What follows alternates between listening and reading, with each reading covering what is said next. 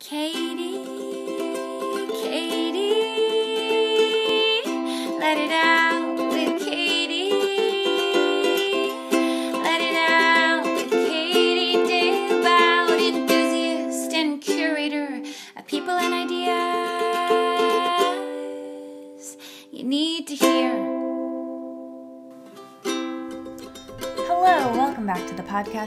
are listening to Let It Out with me, your host, Katie Dalebout, and happy Thanksgiving week.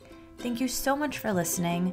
I want to thank everyone who's new to the podcast also for listening. I hope you like it. I hope you check out the archives. I have almost 200 episodes, and I'm so glad you're here. If you like it, let me know, share it with a friend.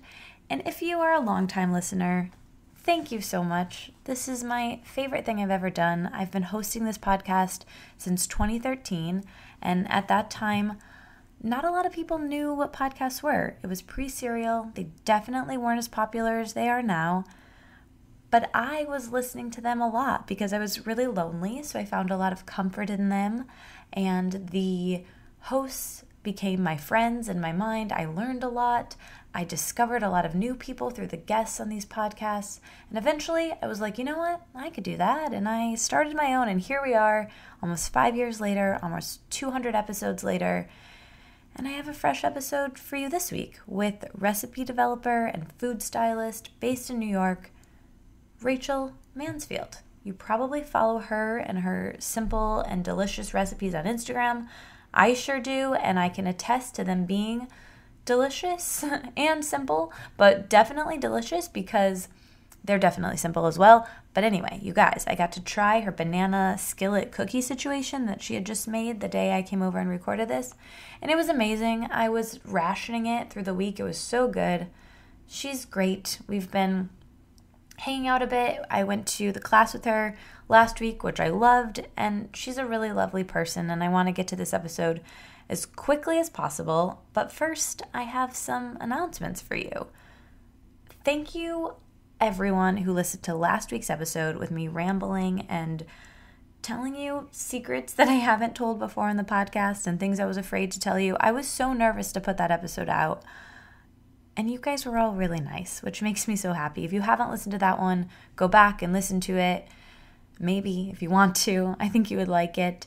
And if you're new, still go back and listen to it. Sure, why not?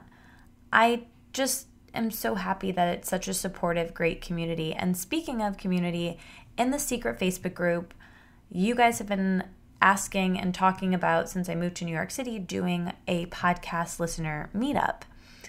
And on Instagram, we've been talking about that, and, and here you go. It's happening. And not only is it happening, there are two things happening in the same week. So it's probably not a good idea to have two events happening in the same week, but you know what? When it rains, it pours. So I'm having two events just a couple days apart. The first one is a week from tomorrow if you're listening to this the day it comes out on Thursday, November 30th from 6:30 to 7:30 in New York City in Manhattan at Springbone, which is one of my favorite restaurants. You'll hear all about it in next week's episode because the founders, Sam and Jordan are next week's guests. But I will be doing a meetup, a little happy hour, if you will, there where we can all hang out and have snacks and snuggle and just be together and meet each other. I think it'll be really chill and nice, and I, I hope you come. Maybe Rachel will come too. She actually loves the place as well. She has a menu item on the menu, and they're also likely going to be launching a special Let It Out item. So please come, bring your friends, bring your kids, bring your mom bring whoever. I hope to see you guys from 6:30 to 7:30 and then that Saturday, December 2nd, it's my friend Laura's birthday and she's going to be there. Anyway, we're going to be at Divya's Kitchen in the East Village and it's an Ayurvedic restaurant and I'll be doing a live podcast episode with the founder and the chef, Divya herself. She's also a cookbook author and has a really interesting story. So I'm going to be interviewing her and her co-founder and then we can all have brunch after, which I think will be really fun. I've never eaten brunch there. I eat there all the time and get their takeout all the time because it's in my neighborhood, but I've never eaten brunch there. So I think it'll be great for us all to have brunch together. It's going to be 20% off for Let It Out listeners, which is lovely, and we can all hang out. I can't wait. Hopefully you're excited. So mark your calendar for November 30th, Thursday at 6:30, and then on Saturday, December 2nd at 9:45, we'll get there and then we'll do the podcast and then we'll have brunch. It'll be lovely. It'll be such a great day. I'm going to have books there available so I can sign them and you can buy them if you want for the holidays or if you just need a copy of my book. If you're new to the podcast, I wrote a book. It's called Let It Out A Journey Through Journaling, available at Barnes & Noble, Amazon, wherever you buy books. It's about journaling. Anyway, it's 55 journaling exercises, prompts. Let's get to today's episode. I've rambled enough. I hope to see you guys next week, and I hope you have the best Thanksgiving. This episode with Rachel, I really enjoyed. She's a lovely person, like I said, but we don't just talk about food and cookies, unfortunately, but that would have been fun as well. But we also talk about relationships and our relationships to our body as women and as people. And we talk about how she got fired from her job at 25 and then what happened next in entrepreneurship and how she's become what she has as an entrepreneur and it's really inspiring and I think you'll you'll really like it. I thought this episode was great to release this week since the holidays are upon us, if you will, and you're probably cooking, you're probably going to something. Rachel's website is a great resource to find a dish that is going to wow the people that you're with. You should probably make something from her website. There's so many things on there. Check it out. See what you think, what you want to make, and make it, and then tag her because she will definitely be excited to see your post, and so will I. And you know what? Actually, send me some of whatever you made from her website because I would love to eat it. That would be great. I love you guys. I hope you have the best Thanksgiving ever. And oh, also, Rachel has a guide of New York City, which you should check out. I'll put the link in the show notes of her favorite places. And Springbone, where we're doing the meetup next week, is one of her favorite places. All right, let's get to today's episode, but first, let's talk about the sponsors. Today's episode is brought to you in part by Care of Vitamins. It's so hard to get all of your nutritional needs from food. Even if you try your hardest, you might still need to fill the gaps with some supplements. And that's why Care of is the best I love them. I use them. They send you your supplements in these personalized daily packs, which is so convenient, especially for travel if you're traveling over the holidays. And they say your name on them. The packaging's amazing, and they're so easy to use. They source the best ingredients in their vitamins and supplements, and you actually save money compared to buying them at health food stores. They make it easy. You can go to their website, takecareof.com, and you get your personalized recommendation by taking a really simple quiz that asks you questions about your lifestyle, your sleep, your energy levels, your bowel movements, and then from there, they curate for you a custom vitamin package, which I love. Use the code Katie to get 50% off your first order. That's half off your first order when you go to takecareof.com and enter the code Katie. That's my name, K A T I E. Thank you so much, Care of. We love you in this family. This episode is also brought to you in part by Franklin and Whitman. They are the all natural, plant based, preservative free, cruelty free brand of skincare and hair care and men's grooming and even pet products that I love. They have a social mission which pledges to donate 5% of all of their sales to dog rescue organizations all across the country. They are so great. I love their products. I use their face serum every single night. Their face masks are amazing, and they use a superfood as the first ingredient in every single one. So think matcha and cacao and turmeric in their face masks, things you would want to eat. I love their products. I love their founder, Chris. He's actually been a guest on the podcast a few guests ago. So listen to that, learn more about them. I couldn't say enough good things about them. So I'll just I'll leave it at that. But if you want to check them out, Make sure you use the code Katie at checkout for 20% off your order. That's K A T I E for 20% off your order. Thank you, Frank and Wint. I love you guys so much, and I'm so grateful that you're a sponsor. Well, thank you again for doing this. I'm so Yeah. excited. Thank you. I'm excited too. I was trying to. So today I like spent the day with you. I listened to you on Georgie's podcast, which Oh was gosh, amazing. you're probably sick of me by No, now. I'm, I've been like excited to come over here. And I told Jordan, I was texting with Jordan yesterday because it was her birthday, and I was like, I'm hanging out with your friend, and and she was like, oh my gosh, give her a hug. I was literally just on the phone with her. Oh, that's so funny. weird. Yeah, that's so, So, funny. anyway, I've been excited to. I was trying to figure out how I found following you on Instagram, and I've been following you for so long that I don't exactly know, but I'm assuming maybe through Jordan, but Maybe Who knows? Jordan and I go way back. So Yeah. Well, either way, we're here, and I I think this conversation is going to be so great. So I I've been loving starting these conversations with the present before we get into your history and where you're Okay. going. So what has been on your mind lately? What have you been thinking about, pondering, realizing in the past week or month, but as recently as you can go? Um, the first thing that comes to mind is like stress levels, Mm. which is like kind of an, a blah place to start. But I um, personally found out last week that I have very high cortisol levels. So for the last, I would say it's been like eight or nine days, I've been really trying to slow down and Yeah. calm down and like live in the moment more and actually be present. Yeah. So something's going on in the present is actually I'm trying to live more in the present and not be so like anxious about what's happening in the future and what happened in the past. Yeah. Um, and have more like balance in my life, which I don't really believe in that much balance, but like I have to find the balance that works for me. Yeah.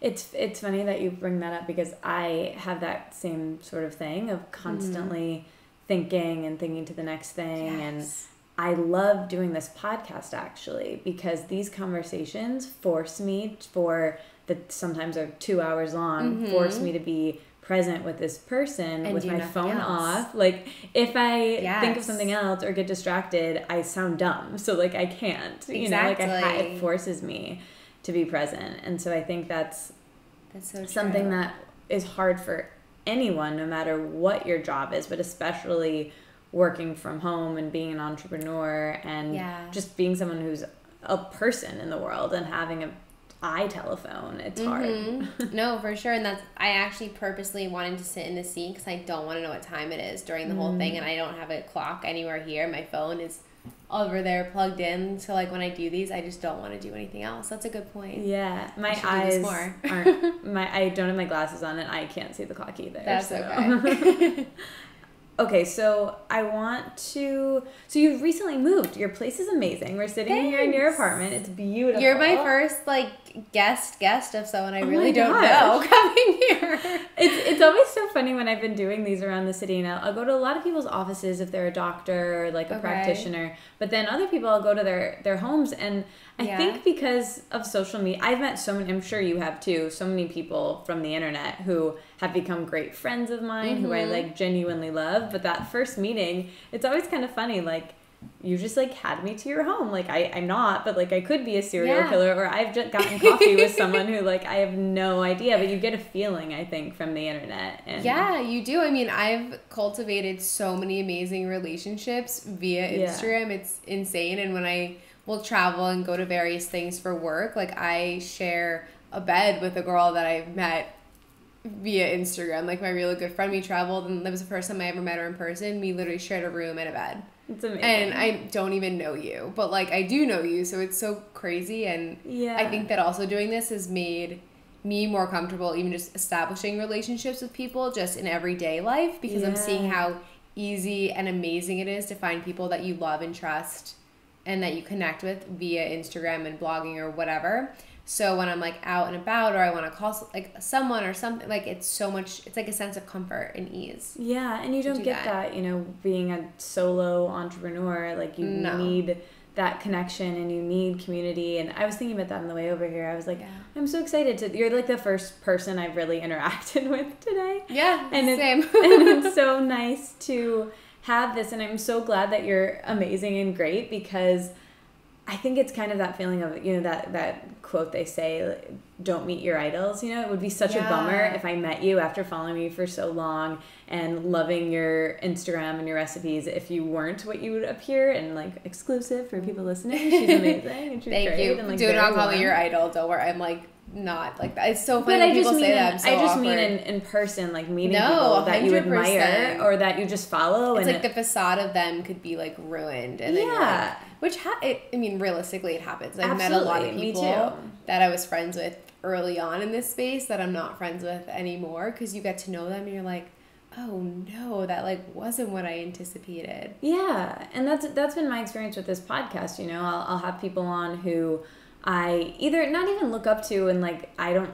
idolize them. I'm just Yeah. connected with them because I enjoy their work or their book meant a lot to me or their movies meant a lot to me. And then if I have them on, and usually this is never the case, but every once in a while, you know, the person doesn't you know ask me a question about me as we're ending or doesn't you know say thank you or and it's just like, Mm-hmm. like eh, it's okay but it's just like a little bit of a bummer because their work was meaningful to me in some way and Yeah. that kind of can ruin it so A hundred Anyway. all right well now i want to zoom the lens back a little bit so did you grow up in in new york did you grow Uh, up in New Jersey. Coast? So okay I'm from like the Princeton area. My Okay. mom and dad are like about 45, 50 minutes from here. oh perfect So it was like one step closer to them moving out of the city. yeah when did you did you always so you used to live in manhattan Yes. when did you did growing up did you come to the city a lot did you always know you wanted to live in new york My parents took us into the city a lot, whether it was like just to go to dinner or walk around or just really be here. And where I live in New Jersey, there's not really much to do. It's kind of a boring esque town. And my parents are the type of people that like to go, go, go and try new things and travel a lot and everything. So we would go into the city a lot. And I always knew that I'd live in the city. It was never like, yeah, maybe I'll live there after college. Like it was pretty like, it was a definite in my head. Yeah. So we moved into Jordan and I, my husband moved into the city like 2015, I believe, um, or 2014, late 2014, um, and stayed there for three years and then moved to Hoboken. How did you decide? Was that a tough decision to decide to move here outside of To city? Hoboken? Well, not, it, I guess yes and no. It was a pretty like quick decision. Yeah. Honestly we got sick of paying rent Yeah. and it just got so old after a while. We had um, our first apartment was 450 square feet Where were you? in chelsea. Okay. and we were there for two years. I loved that was like our first city apartment. It was gorgeous. It was well above our means of the building we were living in. And by the end of the two years we were kind of like we're done here. Like we need to move out of this neighborhood we moved down to battery park which i loved even more than chelsea. Like it was so quaint and like clean. I always joked you could hear a pin drop. It was just so quiet which is nice to have that part of the city when you're in the hustle and bustle all the time. Um, and then that was a studio as well. And I work from home. I just needed more space. I needed a pantry, and it's funny because my parents always were like, "Well, you're not really getting that much more space moving to an apartment in Hoboken, but to go to a studio from two studios, like 450 square feet to 600 square feet, and now we're in two bedrooms. It just it's like, Jord, where are you? I don't even know we have two different bathrooms. It's just ample room for activities. Yeah, I mean, working from home is one thing, but working from home when your kitchen is kind of your office in New York has to Yeah. be rough. So here you have a full, beautiful. I'm staring at it. Kitchen. My that pride has to be and so joy. helpful. It's funny because my bedroom is not even close to being done, and I don't. To be honest, I don't care about my Yeah. bedroom. I just cared about my kitchen, and we redid a bunch of things before we moved in, and redid the floors, and really made like a home for us, so we could stay here for a while. Oh hopefully. yeah, I love that. Did you still go into the city and go back and forth? Yeah, probably one a couple weeks ago. I went seven, still seven days in a row. Um, I would say four to five days. I'm trying to do max. I haven't found a workout studio in Yeah, I was gonna say you're doing the class. Yes, which I love. love. Yeah. Oh, really? We should go. Yeah, I love the class. Um, I was there this morning. I haven't been in New York yet. The only time I ever went was in Really? LA. So I'm, Oh my I would love to. Let's Anytime you want to it. come, it's amazing. And Cool. I'm on like a big class, like bender right now. I keep calling it. And like, I don't sign up for like the next day, and then like that night, I'm put myself on the waiting list and like pray that I get in because I just keep craving it and the energy. It's like almost a workout more for your mind and your soul. I think more than it's pretty rigorous on your body, but like in like a calming way. I don't know. I leave felt there. the so great after I did it. Don't you feel like Like, it was yeah, it almost? was yeah. it's so like liberating and it's actually i mean it's not that far for me to get to it's just i'm a 15 minute walk to the path give or take And then if the path is there, it could be like 10 minutes into the into the World Trade Center or 5 minutes if I take the other path line which goes right into Christopher Street. Easy. So I go there on bar 3. Um, and then I try and coordinate the days that I have like in-person meetings or anything that's appointments, anything in the city so it's in the same day. So I'm not going back. I refuse to like go into the city in the morning, come back to Hoboken and then go back. Like Yeah, It's just that too doesn't much. make sense. yeah. Oh, that well, it's so easy to. I mean, today I hit so much traffic, but No, if so you bad. if you do it at you get to know it, I'm sure that like wouldn't be Exactly. an issue when you're close enough, and so now the best of both worlds. yeah. So going back to when you originally moved, so where did you go to school? So you grew up in New Jersey. I went to school at Muhlenberg College, which is a very small liberal Okay. arts college in Allentown, Pennsylvania. Okay, how did you decide to go there? It was the 13th school I applied to, and I found it really late. Um, like in the application game, I was working with like a college advisor to help me figure out schools, and I literally applied to 13 colleges, then found Muhlenberg and went to the campus, fell in love with it. It was the only small school that I applied to. Only 2,500 people go there. Oh, wow.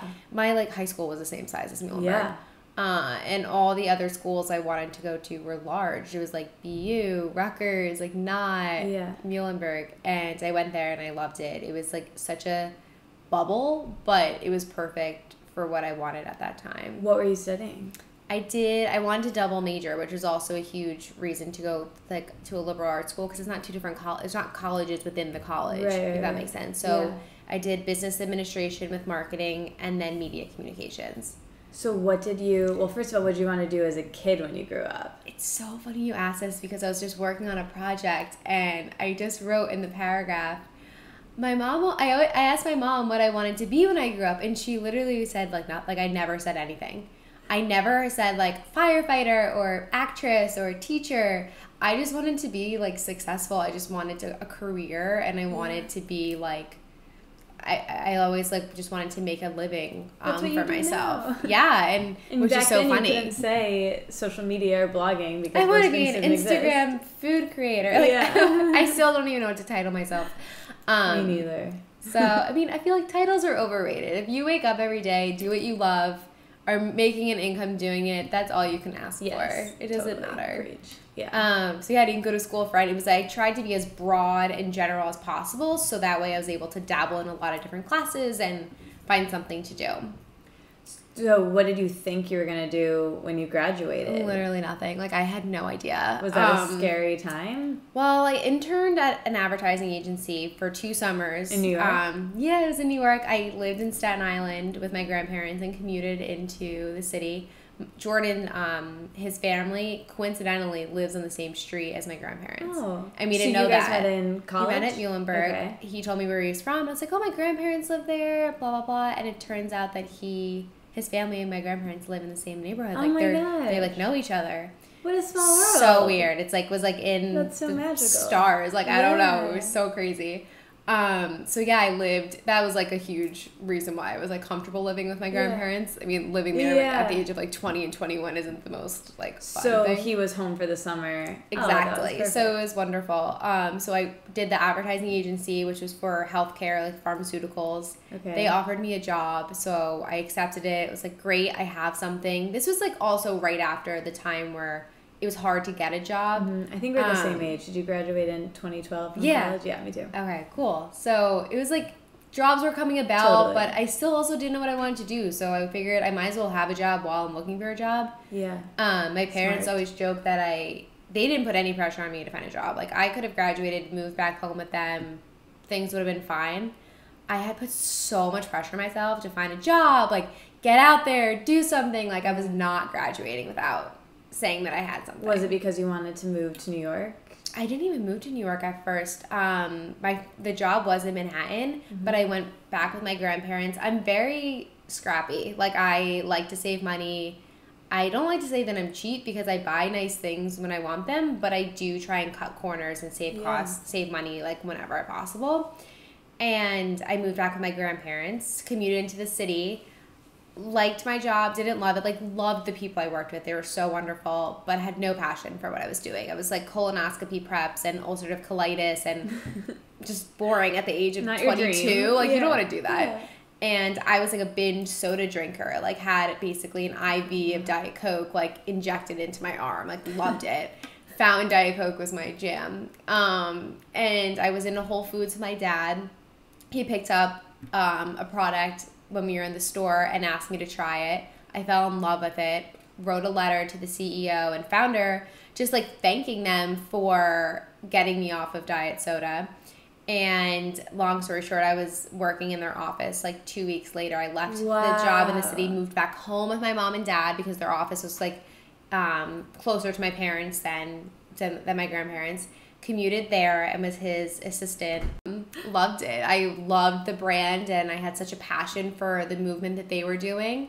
And it was kind of my foot in the door in the foot in, in the food and wellness space because I had such a passion for the food that I was eating. I was still trying to find my place in like what kind of food I wanted to eat, what Yeah. foods made me feel good.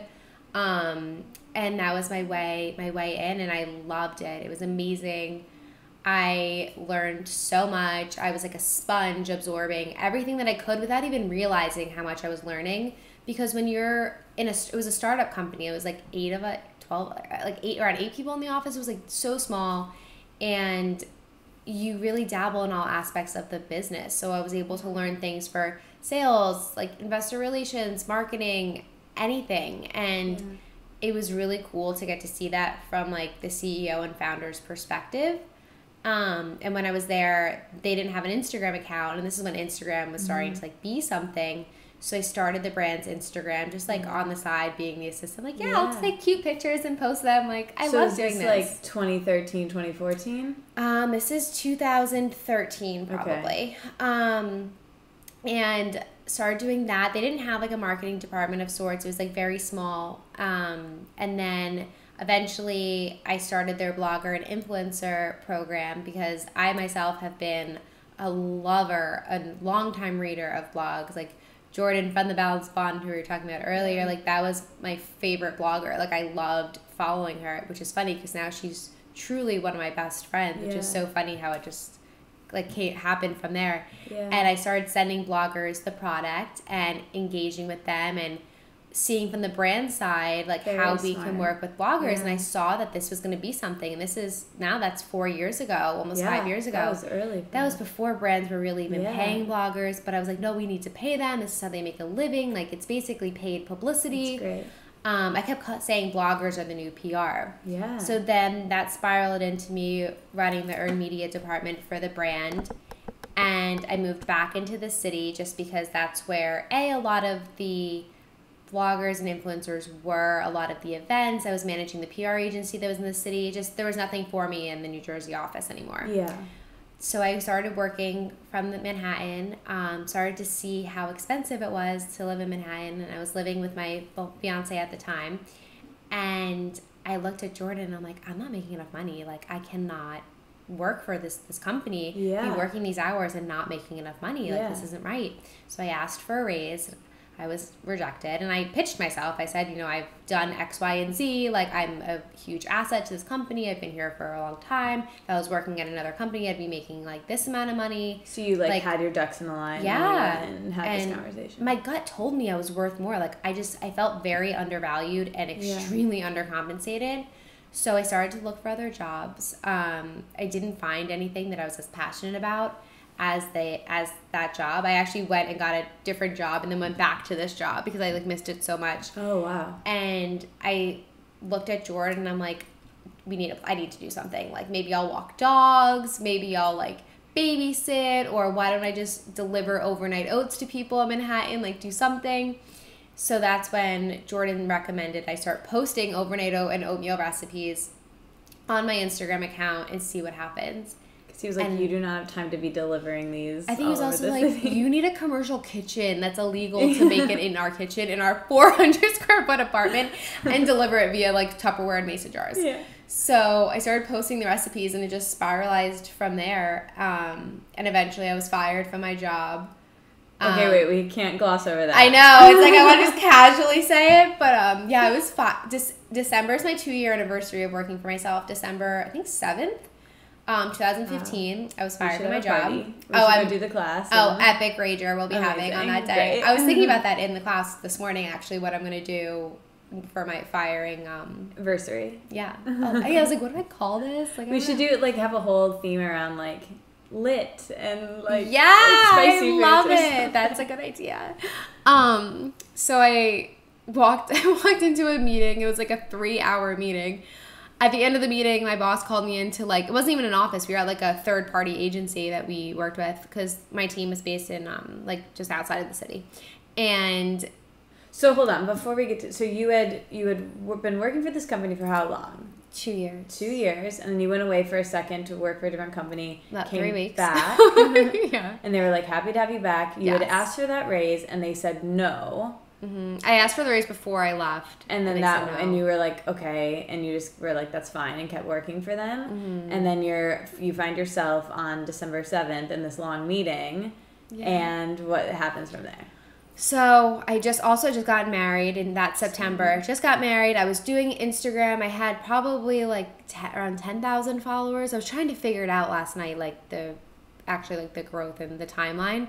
Um, so it wasn't enough to pay the bills. I was making like fifty dollars a post. It was like babysitting money. I kept saying it would fuel my like kombucha addiction. You know what I mean? Like it wasn't enough to for me to make a living, and I also just I don't. It just wasn't wasn't enough at the time Of course, yeah. and they felt it was going to be a conflict of interest and they fired me Oh. um so i walked onto 7th avenue and was like i'm 25 and i'm unemployed i was just fired So that was the reason of being fired was because you had this side business. hmm So did they know about that from the beginning? yeah they i mean they knew because i started when i was there um a lot it's very common for a lot of brands for their social media or anyone that works there to have like a side instagram account especially nowadays where it's such a saturated market Yeah. so many people have a food Instagram. Like it was crazy. Yeah. There was a lot more like political and like stuff that I mean I can tell you about later. Yeah. We'll talk Um, about after yeah. class. but um yeah, I just they told that was the reasoning that I was given and wow. at the time I was very very upset because I felt so comfortable. I was happy. I was like, you know what? I have something I'm passionate about. I have a job I'm passionate about. I just got married. Yeah. Like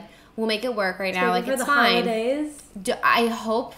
I just hope no one ever it will happen, but I just hope that no one gets fired around the holidays again because Ugh. nobody's hiring. Like unless you want to go work at J Crew or Right. Zara or like retail, which I wasn't gonna do. And even that, because I worked at J. Crew for a quick second after college, you have to Yeah, apply for too. that in like uh, October, like now. Mhm. There was Oh my nothing. gosh. So I was actually nervous to even call Jordan and tell him because Jordan's very sensitive. Like he he's like the Yeah. nicest person anyone will ever meet. Like he's just like he like feels for you. Yeah. And I was so scared. So I called my dad and I called my mom just hysterically crying Ugh. and like heaving. You know when you're crying so hard you yes, like can't it talk. hurts, and like Yes. it hurts like in this area. Yeah. Yeah. And it was around one o'clock. I remember like, because I Oh. remember like being hungry for lunch, but I was like, I need to eat something, but like I feel so sick. Like I'm like I don't know what to do. Which makes it worse when you're hungry and feeling lots of feelings. Yes, I remember this day so vividly, which is so funny because I don't have the best memory. Like I have like I get brain fog, which is like a totally different topic, but um yeah, I was like this is nuts. And I didn't know what to do. I was so depressed. I wouldn't see anybody. I wouldn't talk to anyone. You would have thought someone died. Like that's how I re- like acted to this, but I think Well, it's because very jarring. and you're so young it's like i'm 25 and fired. Like i'm not like i wasn't laid off like i was fired. So there's a difference between like the companies like cutting like laying people off like we can't afford you is more like we don't want you we don't like you bye And especially this company that you had such a relationship with to the point that Yeah. you worked with the founder, you had written this letter, you obviously really genuinely liked the product. That sounds Exactly. really painful. It was like- part of your identity almost. yeah for sure and it was it was almost like i feel like it was traumatizing for me i just was so people you know the first thing when you see someone you haven't seen in a while oh how's work like Right. who the heck Oh. wants to be like, oh, just got fired. LOL, can't even afford to be eating dinner with you right now. Um, so I basically sulked for like three weeks, and then I was sitting at a pizza place in Chelsea. It's like still one of my favorite places. It's actually on my like guide because I used to go Oh, there all the time. amazing. And sitting with my mom and dad and Jord, and I'm like, what the hell am I gonna do? Like, I'm, I don't want to get another job. I just don't have the desire to go work for another office. Like, you I tried just feel so that. hope. Yeah, I'm like, there. I'm not gonna stop posting pictures of oatmeal. Like, that's like all I kept thinking. And my mom was like, just go out on your own and just do it. And you know when your mom's telling you something to do, and you're just like, shut up, like you don't know what you're talking about. Yeah. Well, my mom, my dad, and Jord Good all said to me, so supportive. I know, I don't get it. They were like, just go out on your own, give it six months. If you fail, get a different job, but put yourself out there. Like, see what can so happen. great. And I'm just like, what? Like, you're out of your mind. And Are I- your parents entrepreneurial? no, like they're very very smart people, but like my dad's always worked for him um worked for a company. Like they have like different like side things where they have like an like real estate and things Mm-hmm. like that, but I think that my parents just know that I have a very strong personality and that I don't accept failure. Yeah. I don't. I'm not a perfectionist because I don't do things till they're perfect. It's more just like I want to succeed. Like I want to Yeah. be something, and they knew that I wouldn't just become a slump sitting on like Yeah. watching Netflix all day and like eating potato chips. Like they knew I'd be It's, doing something. Yeah, it's not, I, I relate to that a lot. My mom says about me that I'm disciplined. Yes. Like I, I have a really good sense of if I decide that this is on my to do list, it's going to get done. Like I will Yes. move heaven and earth to like make it happen. And exactly. yeah, which I think, unlike perfectionism, I think it can actually be, oh, which perfectionism is a whole different conversation. But I think it it can be really motivating in that specific arena of working, starting something yes. It- because you have no one telling you you have to do it. No, and that's the biggest struggle of being an entrepreneur by yourself is that there's no one that's telling you what to do, when to do it, how to get it done. Like there's no boss. You need to be disciplined. Like I could easily sleep till eleven o'clock every day and go on my email for an hour, but like no, I'm up at seven thirty eight. I mean, which some people think it's late. I think that that's like fine. You don't have a commute. Exactly. 738 like I get everything done when I need to get it done. I do work in advance. I do all my recipes 4 to 6 weeks out for the most part. Yeah. Everything's like in place and I'm always forecasting my work for like I'm already forecasting for 2018. I'm like not even accepting more work for this year. I'm like I'm done like for right now and just trying to really it's almost the point I'm so disciplined with work that it prevents me from living in the moment because Yeah. I'm like trying to always plan, plan, plan. I relate to that a lot. Yeah. Do you feel like your time working for another company and seeing a brand being built and working on the other side, now you're working with brands from the opposite side, Mm-hmm. do you feel like that gave you a leg up in what you're doing now? And just the discipline of like working in a corporate, working in an office for someone else?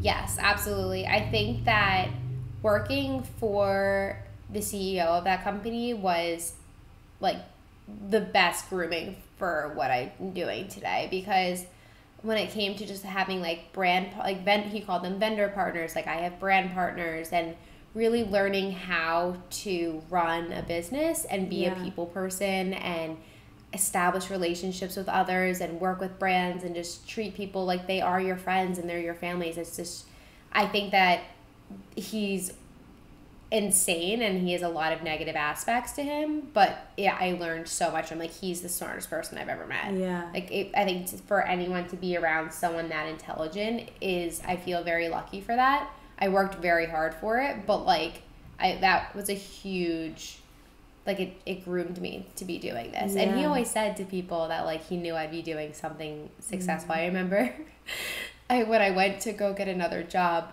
like when i left that company to go to a different company and then before i went back Yeah. when i was telling him over the phone because i wanted to go in person but my boss was like no you need to call and blah blah whatever so i call him he's like rachel you're gonna have a very successful future but it's not where this new company is that you're going. Like I remember him saying that to me, like you're gonna be successful, you have a bright future. It's just not what you think it is right now. And he would always say that to me, like I when I would when I asked for more money, he's like, You're so young. Like you have time. Like you're gonna do it, you're gonna do it, you have time and I still think that I was very undercompensated. So I think that he was right in the fact where he knew that there was something in my future which I didn't see. But I don't like I don't even remember where I'm like going at that. But basically, yes, it did groom me Yeah. and shape me for what I was for what I'm doing. That's really interesting. So has that is that person still in your life as like a mentor? Absolutely not. I think if my mom saw him on the street, she'd punch him in the face. I think I will too after Yeah. this. I think I would just like keep walking. I don't really know what I would do. Has he has him or anyone from the company tried to reach out to work with you now? no, I'm probably like flagged, um, like with like signs all over not to, which is funny because they definitely could. It's in the space. It's definitely like on brand to say the least. Um, but I definitely know that they have me like flagged, and there's a lot of my friends that I would who I would see on the street and absolutely talk to and give a huge hug to. They still work there, and I'm sure it's still like a smaller Yeah. enough company where they know. Yeah, there's probably like Not some new me. new intern that's like, look at this girl, she's amazing to work with, and they Oh, have to be like, they have oh to be my like, god. well, we we Awkward. can't. Yeah. Yeah. That's so funny. So going back to that transition, so Christmas comes and goes. You're at that pizza Mm-hmm. place with your family. You decide you're gonna try this, and you have Yeah. this, you know, somewhat relative to people small following comparative to what you have today. What was that feeling like, and and how did you handle something I think about a lot transitioning from a full time job with the financial security and the consistency that comes with that and the uncertainty that comes with being a freelancer or working for yourself how do you handle that compared to it going from a salary position to working for yourself? And how like mentally what are some ways that you back then and now handle that? It, that's a very good question because I don't know how I handle that. And I'm not the type of person that would handle that well. Like, I love and crave consistency to the point where it's like Me a too. problem how much I want Yeah, consistency. And I, I think because I was able to collect unemployment, which was Mm. huge. And unemployment was also the same salary as I was making at the last job. So that just Oh, shows how great. little I was making. Um, and I, because my parents so truly were not concerned, that just like reassured me. yeah I, yeah, they just, there was not like That's a, so interesting. Yeah, because when I, I find that for me, even like moving to New York, when I see, it's like when you're a kid, they say that if you if a child gets hurt or something, and then the parent freaks out, it's gonna make the kid Yes, so scared. true. And that's the case for me. If my if I see my mom tense up or I see her scared, then it's like seeing your own blood. It makes you Mm-hmm. scared. So their groundedness sounds like it helped you. It definitely did, and I Jordan is also very very calm and just very laxed for the most part. Like he, it's funny because I think that we're actually like switching roles. I'm trying to become a lot more lax, and he's turning into like how I was as a lunatic, and being like, we have to get this, this, and this. I'm like, I'm tired. Like let's just chill.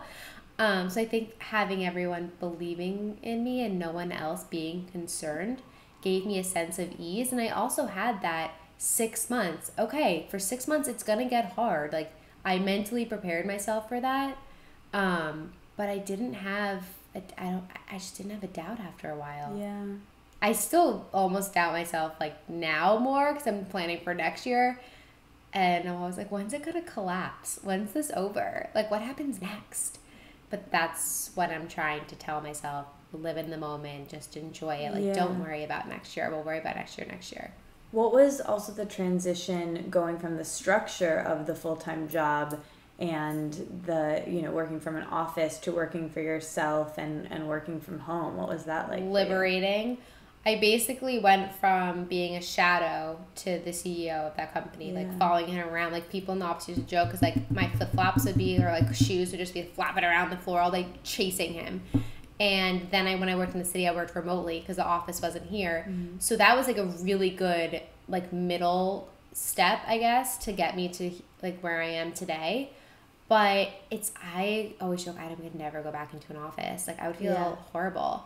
And I visited my friend in her office this morning because she um, works right by the class, and I wanted to bring her a treat. And she's like, "You're so lucky. You just like don't even have to go into an office." And I used to take that so offensively because it's like people think I'm not doing anything all day, and I'm like, but I'm like, no, like she's right. Like I can take a conference call from the street, and that's where I do almost all my calls is when I'm walking on the sidewalk. Yeah. Um, I just love the flexibility love that and too. yeah, I just I can't sit still all day. Yeah. It drives me crazy. Especially on calls, like I curl my hair on calls. I'll like do my makeup on. I I can't like, which goes back to why I like this because I can't do those things. But It's so true. it does feel very productive to multitask It on a conference does. call. That I like do I don't really need dishes. to be. Yeah, I do all of the things. Put yourself on mute if I have to pee. I mean, Oh my god, yeah, I'm not even gonna tell you how many times I'm peeing on the phone. okay with the with that whole period of transition and building the brand and your business that you have now looking back from you know when you started till now what would you tell someone making a transition from a full-time job to working for themselves? Even that you seem like you're so organized. You were mm-hmm. the, a lot of even the terms that you're using of you know forecasting and things that maybe you gained from working for another company and brand that you were able to like apply to your own business how would you give someone advice and organizationally and mentally and even physically and for self-care like what are some what would you tell yourself you know before those six months and even up to now So if someone's gonna start working either from home or for themselves, yeah after, for, after yeah. working for someone else that going making that transition keeping a sense of structure. So, like I said, setting an alarm every day Mm-hmm. to get up. Um, I make an effort to leave the apartment every single morning. Like I have, this. I'm too routine, but like I wake up. I can literally tell you what I do every day. I, I wake up, brush my teeth. this is one of uh, my make questions my i bed. always ask people on the podcast is Yeah. morning routine so we can just do it Uh, now wake up, brush my teeth. I have breakfast immediately. I have to eat within 20 to 30 minutes of waking up. It just works for me. Uh, make whatever it is that I'm having for breakfast. I is go that to a the consistency thing or do you change up what that is? eight. Mm, it used to be really consistent. Now I really try and switch things up because otherwise I just like I put so much cauliflower in my smoothies that it's to the point where I can't eat cauliflower anymore. Like it destroys my stomach. yeah So, and knock on wood, I don't have like stomach pains usually. Yeah. I'm pretty good with food. I'll have to tell you a story about a similar thing I did. Yeah. um, so it depends on if I'm going for a workout, like anything, but I if it's a quick and easy breakfast, it's like some type of a yogurt. Um, right now I love like Coconut Cult and Kite Hill. The new Greek style yogurt is so Ooh, good from have to try Kite Hill. Um, like they're not sponsoring my life. I would, but I feel mean, free call me if you want. Um, Open to it. and granola. I like love granola and some type of like fruit, like berries or something.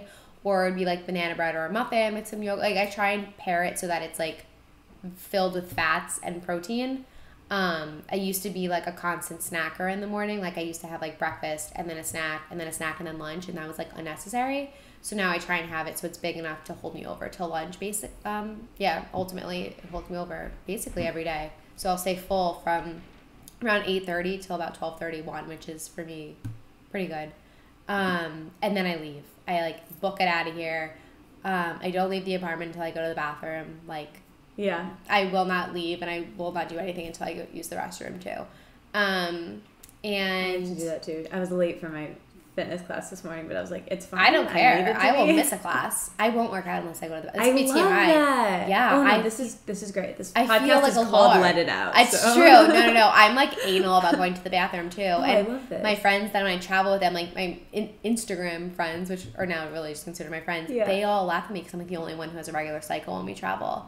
Like even when it's a time That's change, when we were in La Jolla in August, I would wake up in the morning, and even though it would be like 11 a.m. like that time, like I'd still go around 8 8:30. Then like just, it's like my body's very. Do you habitual. drink drinking a bunch of water? Do you take a probiotic? Because I find that like gets it going for me. Mm, so I do drink a lot of water. I drink a lot. Yeah. As I have like four cups around my Mhm. apartment right now. Um, I drink a lot of beverages. I I'm really bad with probiotics. Like I do take them. I take like the Garden of Life ones, so they're like Yeah. the 50 billion. I have the same. Do you one. see I- them on yeah, my thing? I noticed it 'cause I have the same. I have the leave them one, out so that way I remember. Yeah. And I was actually been taking the men's ones because I ran out of the women's ones, which Oh, I good. called them to make sure I wouldn't grow a penis. They told me I'd be fine. Um, so I take those. exclusive. I definitely don't think that those make me go to the bathroom. They make my mom go to the bathroom though, Mm. which she'll kill And me for saying me that. too. But yeah, they do help a lot of people. Coconut Cult, actually, I've heard too. The yogurt helps people go to the bathroom. Oh. Um, so yeah, I always do that. Then I go for either a workout class and then, or I go for a walk. because I need to get some type of a movement in because if I am in this confined space all day, I have to like stretch my legs. same way. Clears my head. And I find I might not leave if I don't early Yes. on. Yes. Yeah. And like I need to like put a even if it's a sports bra, like I never actually wear like a regular bra. I'm not even wearing one right now. Like I just need to like put clothes on that aren't pajamas. Yeah. And I have recipe clothes. huge. So like I don't want to stay in recipe clothes all day. Yeah. And then I go to the grocery store if I'm doing recipes that day. Mm-hmm. And then from there that's where the day is never the same. I would say after the workout class, that's when it's I never know what's gonna happen. Yeah. Um, and I try and work out probably like three to four days a week. That makes sense.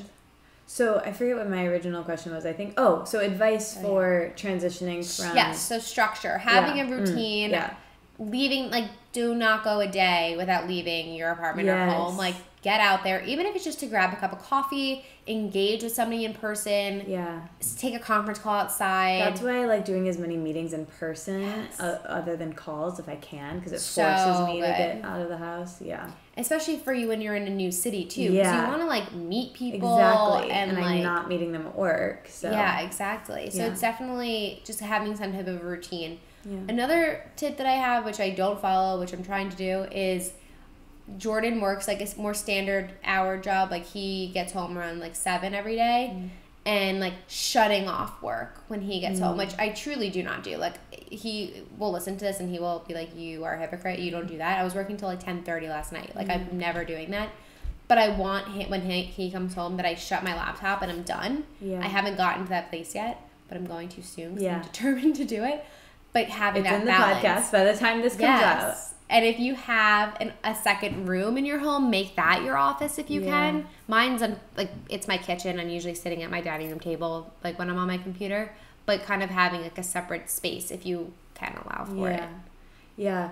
What about um in the evening? I always ask about evening routines. Do you have do you guys usually have dinner together when he comes home? Do you cook? What Mm-hmm. Are some of your evening routines to relax and shut down at the end of the day? We eat together every night. I always wait for him, unless it's like really late or like he's at something. He won't be home till like 9 30, 10. he works in the city. Not waiting. Yeah. His commute's actually shorter to our new apartment than it was to Battery Park Oh, wow. from Midtown. So it's like, it's a really What easy does- commute. What does he do? He's um, in accounting at a hedge fund. Okay. So his hours, he's usually home by like 7, 7.30. The, the season, like the weeks vary and stuff. But Mm-hmm. for the most part, he walks in the door. I typically have dinner either heating up or making it or something. We eat dinner. I have dessert. I have dessert every single night. Love and that. then now we sit on our couch, which is so funny because our other couch was a third of that. those like chairs. it was yeah, literally, and we would be sitting on top of each other watching TV. That looks like a very cozy couch. I would love to. It's Snuggle. so cozy. I'm really excited about it. That corner is like gold. yeah. I feel Um, like I would fall asleep there. Jord likes watching TV. I haven't turned the television on since moving here. I don't really watch TV. And I used to take a bath every night around six. I hate my new bathtub. Mm, it's too shallow and I'm just like cold and then my boobs like are like Oh, sticking yeah. out of the water and I'm like this is awkward. I don't want to sit here anymore. Yeah. So I don't, but I shower at night. Like that's kind of my in between Yeah. between work and having dinner. I'm a nighttime shower. I, have me too. Really? really like a really, really hot shower. Like lots of steam. Yes, yes, I love it. Um, and then that's really it. I don't have a big nighttime routine. Yeah. I guess the last three nights I put oils in like a diffuser. Oh, It's yeah. supposed to help with stress, so they say. We'll see if it Yeah. if it does. I try and Gotta do that. those cortisol levels. oh my god! If anyone has any tips, call Yeah. me. yeah, tweeted us. Okay, I want to go back a little bit further to your childhood again. So you mentioned your dad took you to Whole Foods when you Mhm. kind of first got into this. So what was your relationship to food growing up? How are your parents into wellnessy food? What did you eat growing up? Do you have Um, brothers and sisters? I do. I have a younger brother. Okay. Most people think I'm an only child because I don't talk about him that much. Are you guys close? but yeah, we're very close, and we've How, like, what's the age difference? He's twenty, gonna be twenty four soon. Okay. So any single ladies, call me. I'm trying to find him someone. he's the best though. He's so cute. Oh, I'm, Um, this is the place to get him a date. I There are know, lots of- right? yeah, this is My like mom was like, post him on your stories. I'm like, okay, mom, this is not the Bachelorette on my. Oh, uh, podcast listeners, feel free. what- that'd this is so like funny. Sleepless in Seattle. I know, right? Imagine. yeah. some Um, girl, some cute girl is driving her car right now, just like daydreaming about your little brother. Stop, that would be so cute. We could be friends. Um, so I was a very, very bad eater in the fact where I would eat, eat like nothing besides chicken fingers and Wendy's and like a picky eater. yes, like did not eat anything. Like po- I loved Pop Tarts with icing on them Oh, and cheese Pop-Tarts doodles and could you could not Do you have a Pop. Tarts recipe? It's coming. Exclusive. It's coming. I love Pop Tarts. I Oh, like so good. I'm I'm so excited for that. Yay, me too. and I just I didn't like real food. Like I didn't Yeah. like chicken. I didn't like vegetables unless they were a French fry. And I was when I was younger, I was actually very chubby, which most people don't believe me. I will show you pictures. Like I have some on my phone from when people actually are like, "No, I don't believe you." And I had a lot of like baby fat. Yeah, when I when I was in San Diego, I was like texting my mom like, "No one believes me. I used to be chubby. Send pics." So she sent me some. And I just didn't. I didn't work out. I didn't move. I wasn't very. I'm not still not athletic. Like I wasn't very coordinated. I had just. I think I from and I'm realizing this more and more as I'm getting older. I've had like a pretty rocky relationship with food since I was probably around like 10, 12, like at a young age, whether that was Yeah. eating too much of bad food and like taking out like being unhappy on eating too much. Like I didn't have a binge disorder, but I just didn't like I would just eat because like I knew it was bad for me, like not because it was good. Then when I was in high school, I lost weight. This is when like Weight Watchers was really cool. So I did like a Weight Watchers type of mentality. Did that like look th- then I was around like this size. Went to college, gained freshman like 25 like gained was like the girl that you graduated with that went to college and blew up basically just from like smoking too much weed and going to Wawa for meatball subs every single night and peanut butter M&Ms and just wasn't happy after I put on that weight. And then my sophomore year I pledged a sorority which was like tough on your social life. So like all you do is eat because you're bored and like you can't drink so might as well eat something. And just like wasn't happy in my body still and felt very just like I know that I wasn't if someone saw me they wouldn't have said that I was large but I was large for like my frame. Like I just didn't feel good. I had no energy. I was like blah then I lost a lot of weight like in a very like unhealthy way. I counted every calorie like mm. cut out carb just not fueling my body. I remember my grandmother telling me to she was like Rachel, you know, you have to eat bread or your hair will fall out. Like I don't mm. even know if that's true, but my hair did fall out and it was like a strand of hay. I had like no hair cuz I just wasn't eating like really much besides like chewy granola bars and apples, 12 almonds. My parents still make jokes so that we would count my almonds. And it was I mean, I this is almost like a different topic, but I'm a believer that everyone goes through something when it comes to an eating issue. I don't think that I was anorexic. I truly don't. And I think that when I was going through that, it was either you're anorexic or you're bulimic or you're Yeah. just you're just fine. Like don't worry about it. I was actually living in Italy. The place not to go through this, FYI, because there's so much good food. I got out of the shower, looked in the mirror, just literally looked at myself, was like, shit, what did I do? Yeah, like you're kind of scared yourself. yeah, I was like, That's Rach, exactly you look happened to me. horrible. Yeah. And I mean, I'm sure then you can relate. Like having yourself figure that out is Yeah. life changing because ever since then, that doesn't mean that it was smooth sailing from that. Like it was a huge struggle for me to mentally tell myself to eat more because you get in such a creature of habit, like a routine of eating a certain way. And it's scary and jarring to change. Yeah, and, and know like. I know for me, if I add a little bit more, will I be able to stop, or what will that do for me, or will I if it will it be even more and more, and I want it, you know, and it's How does your body stop gaining weight? When does it know to stop? It's like it'll find the happy place of Yeah. fueling it where it feels happy.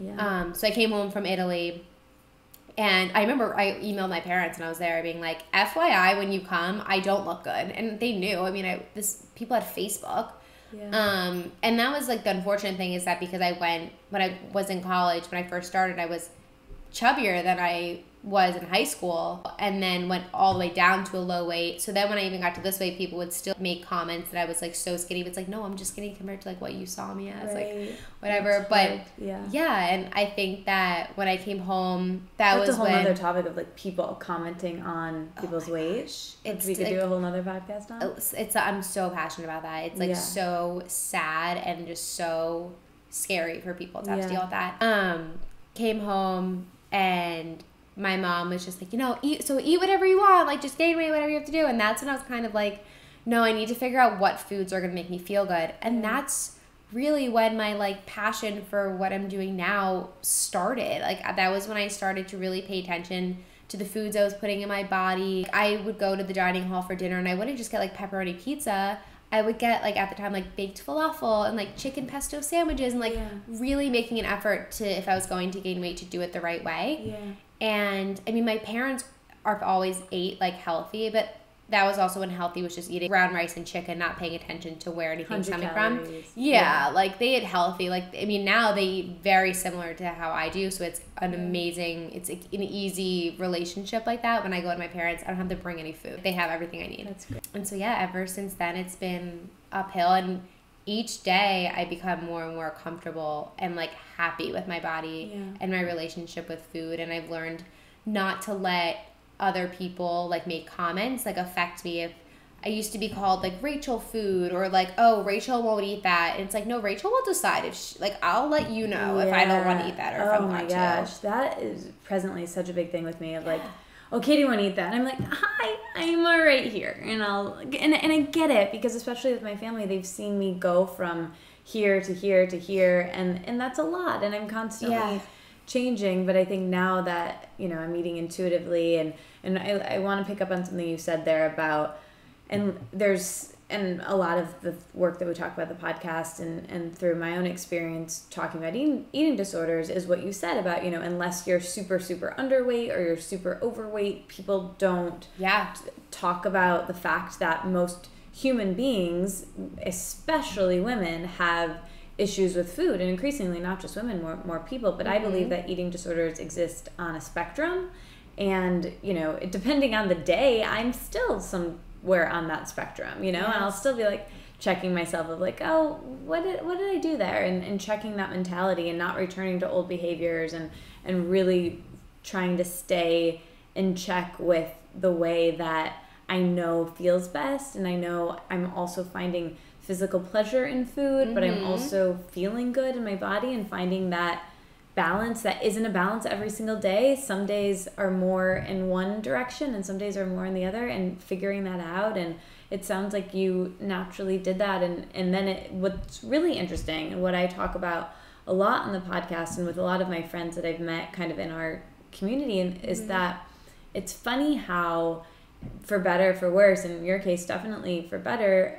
how our whole trajectory of our careers was impacted and changed by our relationship with food.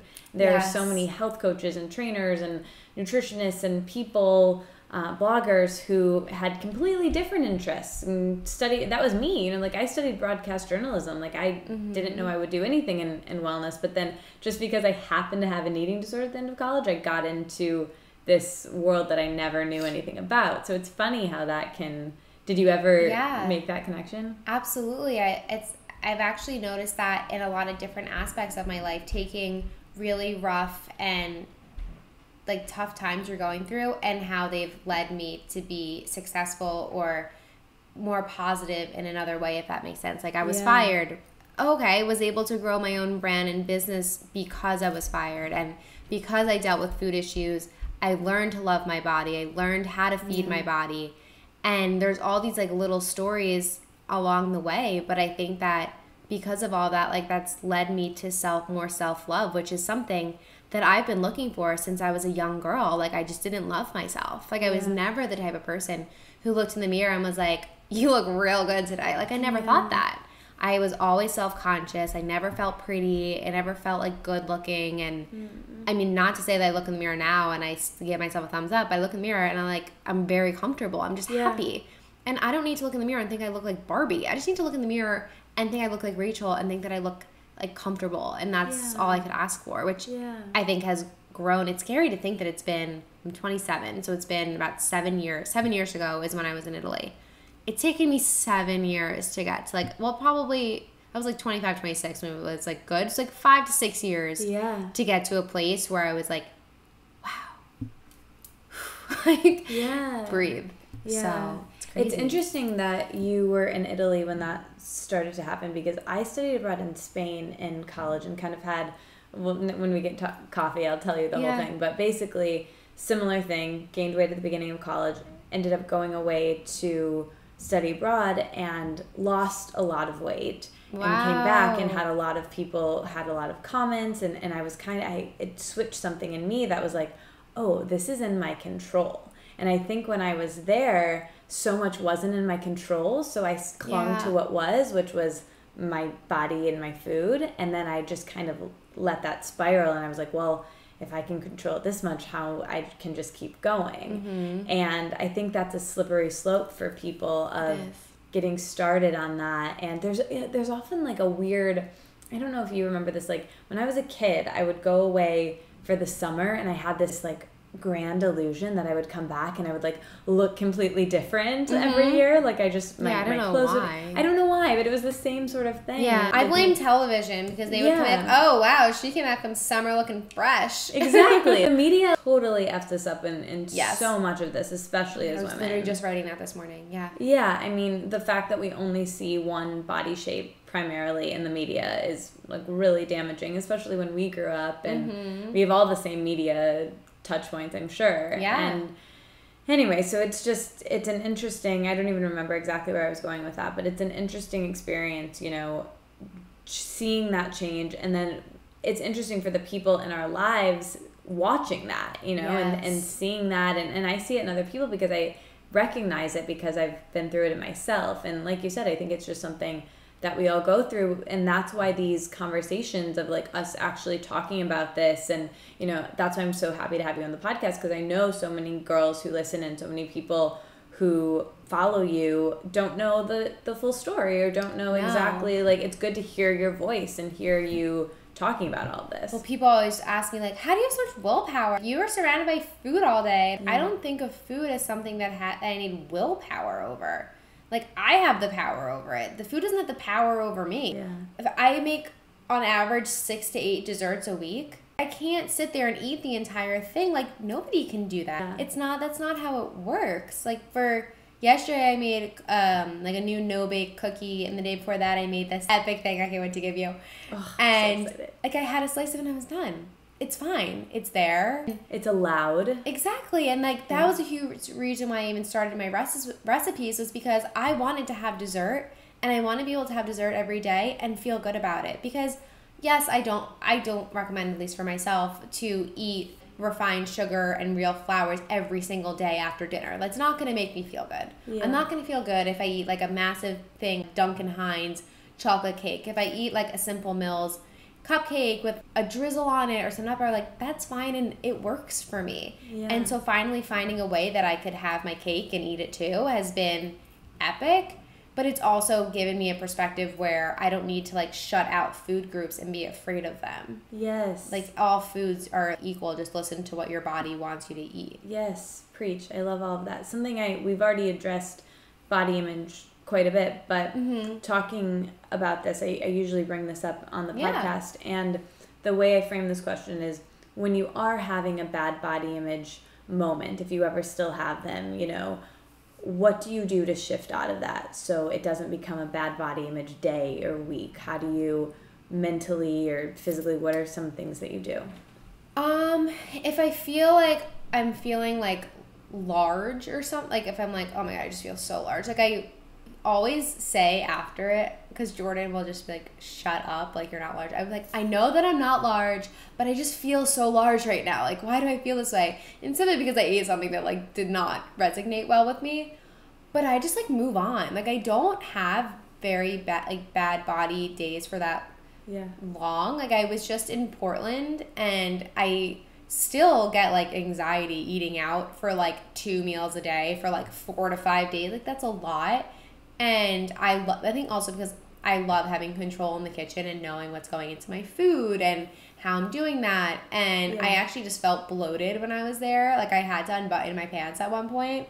And I didn't get upset about it. But next day I woke up and like my pants fit, they were fine. Like I was just probably bloated from too much salt, you know, or like something. And Or you will go back like, to normal. The plane, the stress. yeah, like, exactly. so many and I think because I was I've been so many weights and I finally am happy that like I think about each end of the spectrum and I don't want to go there again because Yeah. when I was heavier, I mentally was not okay. I was mentally eating everything in sight because I just felt unhappy.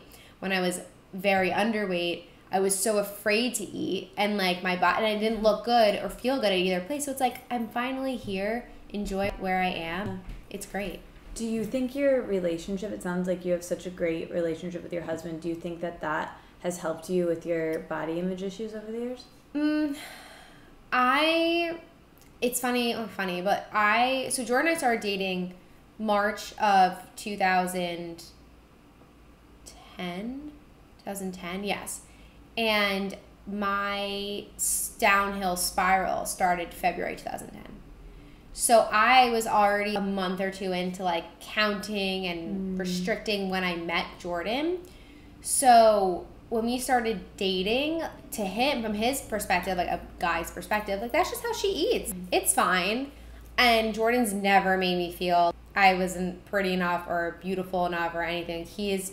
I'm not even just saying this because he's my husband. Like Jordan is the nicest person. You'll. I hope that you'll probably meet him before you leave. But Cool. he's the nicest person that anyone will ever meet. Like he just wouldn't hurt a fly. He keeps me so grounded and like calm in a lot of ways. And he just this was such a Rachel relationship. Like it was such a relationship with myself that I had to deal with. He was supportive in any way that he could be, but it was like so much larger than him. Yeah. It's almost like how you I personally don't think that you could be in a relationship that's successful until you really can be in a relationship with yourself and I make myself a priority. Like my marriage to my Jordan and both my marriage to myself are very very important to me and when I'm like traveling or I'm, when I went to Portland or I've been like this year, I've traveled a lot without Jordan. And every time I go away, I love my mother in law dearly, but she's like, Is Jordan going? And I'm like, No, Rachel's going by herself with her friends because that is just what I need. My mom's very independent. Yeah. I'm going to Florida. My parents just ha- got a place in Florida, and my mom's going to be there for the whole winter. I'm going to go for a month and just stay there. And amazing. I went, you're, you're going to leave Jordan? Is he going to be okay? I'm like, he's going to be fine. I'm going to go. I'll see him in three weeks. It's like, I just, I'm such a believer That's in so having great. that relationship Yes. with yourself. And I think that makes your marriage or relationship or whatever even more Yes. important because you need to be able to be with yourself, to be with somebody else. And if I lose myself for a relationship, Yeah. I would I wouldn't be happy with myself. Yeah. Oh my gosh. I'm and my boyfriend still lives in Michigan, so I was we're gonna ask. 'cause You said roommate, and then you said boyfriend, and I'm like, and I heard you talk about your boyfriend on Georgie's podcast. I was so confused. Yeah, so, So he I- lives in Michigan? Yeah, and it's yeah. Sometimes it's hard because I just genuinely he's really great to hang out with, and Yeah. I love hanging out with him because it's really fun. But for the most part, I'm great here. I love being in New York. I love meeting people, and like tonight, I have a thing I have to go to, and then a dinner, and I'm like constantly running around the city, Mhm. and I'm busy, and it's great. And I think it's really important to be independent and Yes. and maybe you know generationally with your mother-in-law it was a different time or people just other people don't understand and so i think i'm not i'm better for my relationship when i'm happy with what i'm doing for myself Yes, exactly. And I think because my dad traveled a lot when I was growing up, just for like what he had to do for work, and it was always my mom and my Yeah. brother and I.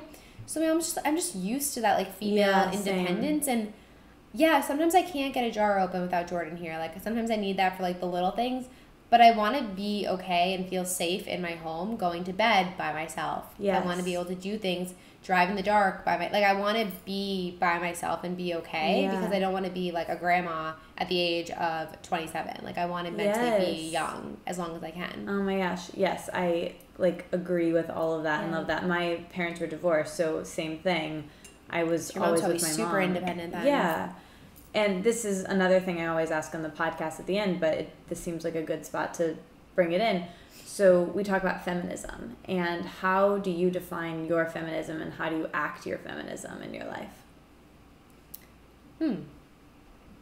I think I don't even know if this is gonna be an answer yet, but I think that working for myself and being like a female entrepreneur is how I I don't know how I feel about the term girl boss. I'm still very indifferent about it. First I loved it. Then I was kind of like, I don't like that the term boss is for men only, if that makes sense. Then Yeah. like that's kind of silly. And I don't like Person that. boss. What exactly? Just Yeah. be a boss, and it doesn't matter if you have a penis or a vagina. Just be a boss. Like I don't Yeah. care, or if you have neither, that's fine too. Yes. I just Or I, both, exactly. whatever. like I think that I believe that females can be just as empowering and make an impact as men, eh, just like men. I don't think that they have the same confidence to do so, and I'm grateful that I've had that confidence and had that push from like the biggest male figure in my life, my dad, who believed in me to do that. Um, I always joke that I'm like a son more than a daughter, and I am girly in the sense where I like how I dress is girly and everything. Like I get manicures every week, but when it comes to my train of thinking, I do have a very, I guess, male skewed perspective. Like I make perverted jokes. I like to do all the like finance type stuff. Like I like to track everything. I don't know. I just feel that I don't love the term feminism and I what is the male term for feminism? Like melanism? Mm, yeah. Like, I, I mean, just I make that think like misogynistic men. That's when I Okay. think of like anti feminine. But I think men are feminine. I think good men are also feminists. Yeah, I just you know? kind of believe It sounds like, like, your dad is, and like the people in, Yeah. in your life are. It's just supporting women because I think for so long we've been not supported by men typically. Exactly. Like I hate you the know, your- segregation. yeah. That's what's just like, I guess because we're also growing up in a different generation where it's a lot more common for there to be a working mom and a stay at home dad, or like both Yeah. parents are working and then there's like a nanny or like anything. And I mean, I want, do you watch This Is Us? How there's like a manny on there? Like, I think that's the funniest thing ever. I'm like, I want a manny and I want him to be hot and look like him too. Yeah. Um, so I don't know. Did I even answer the question? No, you did, and I think you, the way you act your feminism is every day.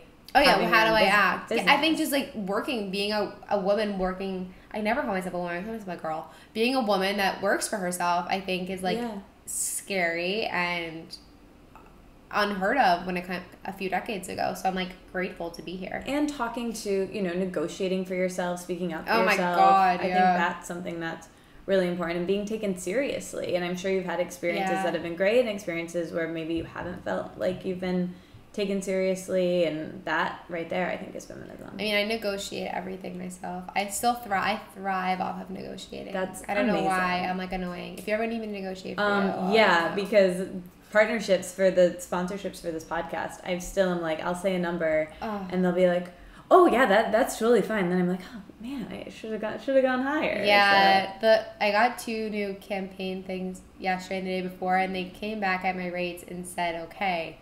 That's how I knew that my rates are too low. If they're just saying okay, Mm. like they should be so i higher. feel like i should be taking notes right now Yeah, I'll, I'll help you. I love doing this stuff. I help a lot of yeah other bloggers in the space my with their rates because if anything, we need to all work together because if there's people and I need to talk to my friends that post for free because brands won't pay me help. because they're posting for free. I'm like, yo, bitch, like I'm trying to make Yes. a living. Like, stop posting for free. Yes. What are your Okay. some of your greatest lessons and tips about Instagram in particular? Instagram. I feel like I knew you so well, and then you changed so much. Yeah, talk, So talk much. about that. How do you like? How do you handle your feelings about? I went on a tangent like last week or the week before. Like I have a very positive On Instagram? Yeah, I'm my stories. I have a very positive Instagram feed. Like I, if I have a product I don't like, you'll never hear about it. You'll never see it. I just won't talk about the product. Like I Yeah. everything. And it's not because I want everything to be portrayed as perfect. It's just I don't want people to go on my feed and be like, "Oh, she's complaining again." Like I'm not gonna be complaining about the weather.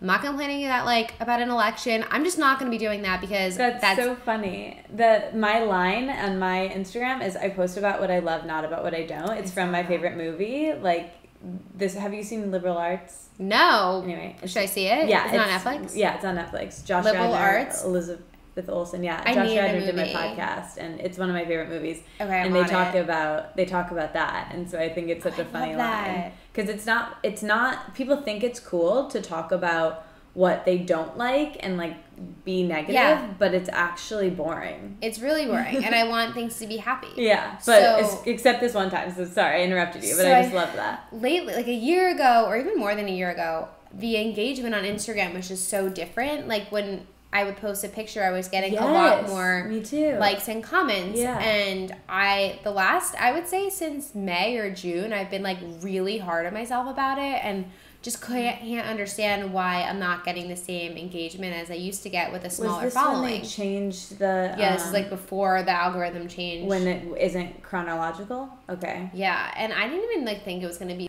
that impactful, but like it did, and I think also just the discover page changed. Mm. So it just I don't get Instagram anymore. I really don't. I used to have a really good handle on it when I would say, and I still believe this, but like consistency and quality content and engagement, those three things will help you grow a brand. Yeah. I do not think that it is as feasible to grow an Instagram account today as it was a year and a half ago. I mean, I also was on my phone 24/7, like always on there and like now I haven't been on my phone like like I leave my phone in places during the day otherwise I can't get anything done. Yeah. And I don't want to go on Instagram. I post a photo now and I turn it over cuz I don't even want to see it. And I don't Yeah. log on for 2 hours after because I'm like then I'll know at the 2 hour mark like how it's doing. That's it. Yeah. But I went on Instagram and on one of my stories and said that I don't know what's going on. It's bothering me that I'm not getting the same like likes and comments that I did, and I just need to remind myself that I'm not an Instagram likes generator, and I'm not. I don't pitch myself as an Instagrammer. That's not my job title. I'm not a professional Instagrammer. I'm a recipe developer and food stylist with a blog. That is what I do. That is my bread and butter. I feel I feel like a key part of growing my brand has been con- the consistency aspect and having the discipline to post every day, create new content, have a similar look and feel that has been so key.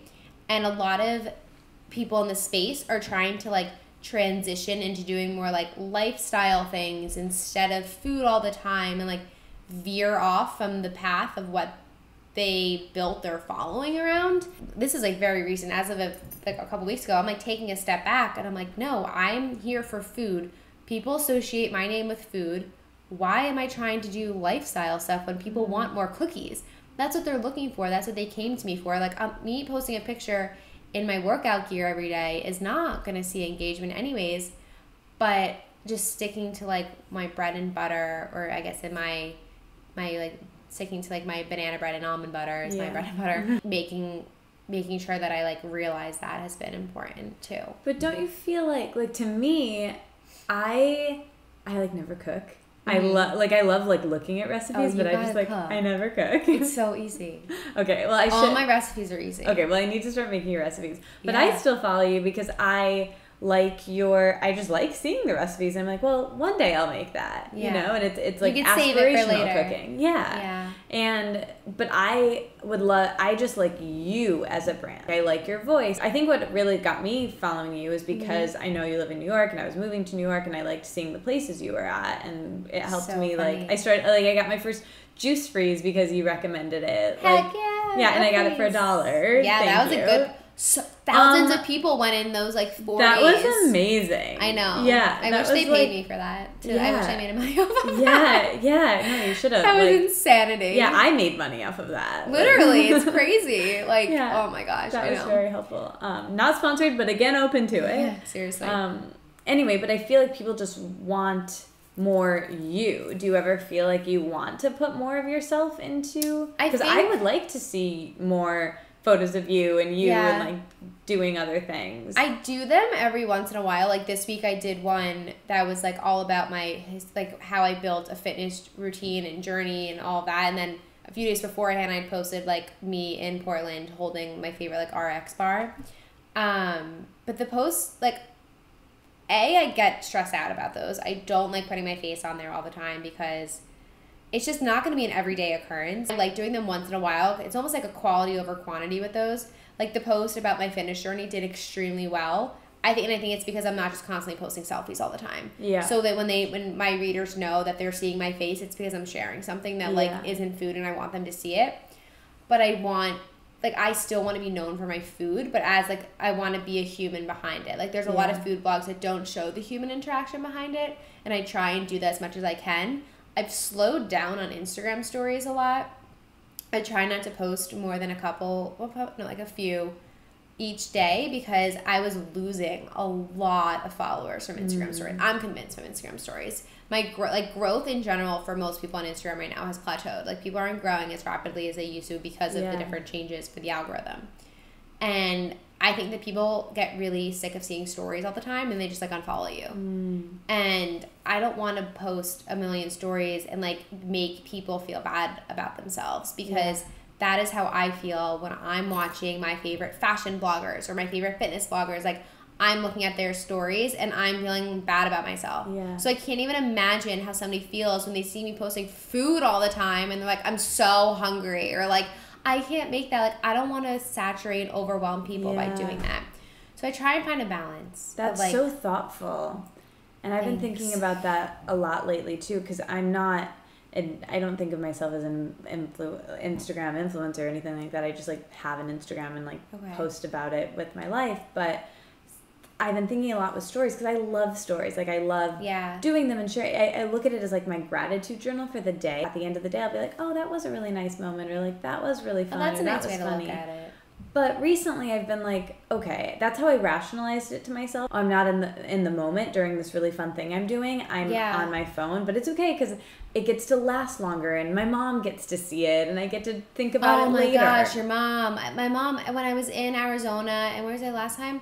She would text Jordan and be like, "Is Rachel okay? She's not posting oh stories." Oh stories." my god, my mom Like, does Mom, the same thing. phone. I know, my mom does the same thing. She's like, she calls me eighty times if she like doesn't see me posting on my story because I it's the same. It's kind of the same with the food thing. Like I know I used to be into that, but I'm doing the like in the moment thing. Yeah. So now I think of Instagram stories as, and I want to know what you think of this as like moments when I'm genuinely bored by myself and I like see something funny or like I want to like make fun of something I see in the street or Yeah. something where I'm not doing anything else and those are the moments that I want to post and those little interactions that I want to remember later or share with someone else or like this is crazy that I'm seeing this on the street in New York City. I need to share with Yeah. someone else. That's fine because that doesn't take me out of the moment. It kind of like enhances the moment. But then I was got in my head about like, well, if my stories are all these little like stupid things and the day I'm actually doing something somewhat cool I'm not posting, Yeah. then I felt like this weird thing and it's like who cares? It's all too much. Exactly. And I just was like maybe it's not going to be an exact science. Like most of the time I'm not going to post if I'm doing something. Like this weekend my boyfriend came to visit and I really wasn't on my phone much at all. And Yeah. the last time he was here visiting, we had so much fun and I was constantly posting about it and my mom was like, "Oh my god, she she's like the biggest fan of my stories." And Yeah. she loved seeing that. And this time she was like, "Did you guys have fun? I didn't see anything." And I was like, "No, it was Yeah, amazing. It was better." I know. Yeah, so it's just I don't know. It's I think it's think an it's- interesting thing. You get to find the balance of what works for you and like your brand and what you want to put out there. I have lately just been taking pictures and then uploading them to my stories later. Yes, So, like, that's what I do too. That's been Yeah, pretty clutch because I want to make the story look pretty. I don't want to just like Exactly. the story. I do don't do many videos. I think I'm trying to keep my stories more like where I'm working out because people if I feel like if I'm not working out there then people will be like, "Why aren't you going there anymore?" and then they want to know or what I'm snacking on or what recipe I'm creating and showing more like behind the scenes stuff. But I when I'm traveling especially I just like take a lot of things and then upload them all at once yeah. and I'm doing I do a lot of Instagram story takeovers for brands. I'm doing one tomorrow. Do I do it all live or do I do it and then upload it? And like I think I'll just do it live for the brand because it's like more fun for them. But it's like hard because it's also just like pressure on Yeah. you because like they clearly think that you have this exciting life, and I'm like. You're coming to the class with me tomorrow, and then we're gonna have breakfast. and like, Yeah. what are we doing? Yeah, I it, it's an interesting thing. I really like taking a photo of something in the moment really quick, having it on my phone, and then Yeah. when I'm in an Uber, when I'm in a cab, or when I'm waiting for the subway, I can scroll through.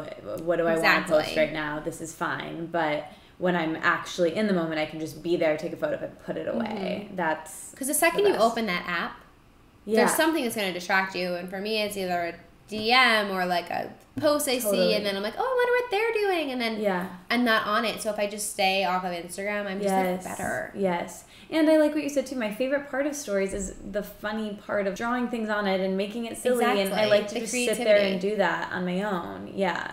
I, I'm I with love ya. that. Okay, there I have my copious notes on you, so I want to make sure I like hit all of the Rachel notes before we get to the questions I ask everyone, but I think we're really close. Okay, so I feel like we docked the boat about Instagram and social media. Anything else you want to say about maintaining your relationship with social media and where you are with that? I would say we're not as in a we're not in an extremely committed relationship like we once were.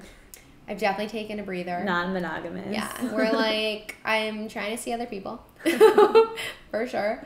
Um, basically, just right now, I'm trying to figure out how to not put all my eggs in that basket Yeah. because I think that I love Instagram for what it's done for my brand, and I think that I mean it's an amazing app. Like I visually love it as a consumer and like as a user, but I think that for a lot of blogs and people who post and have a following on Instagram, it's a customer service platform and I cannot respond to everybody. Like I mm. always have 99 plus requests, messages.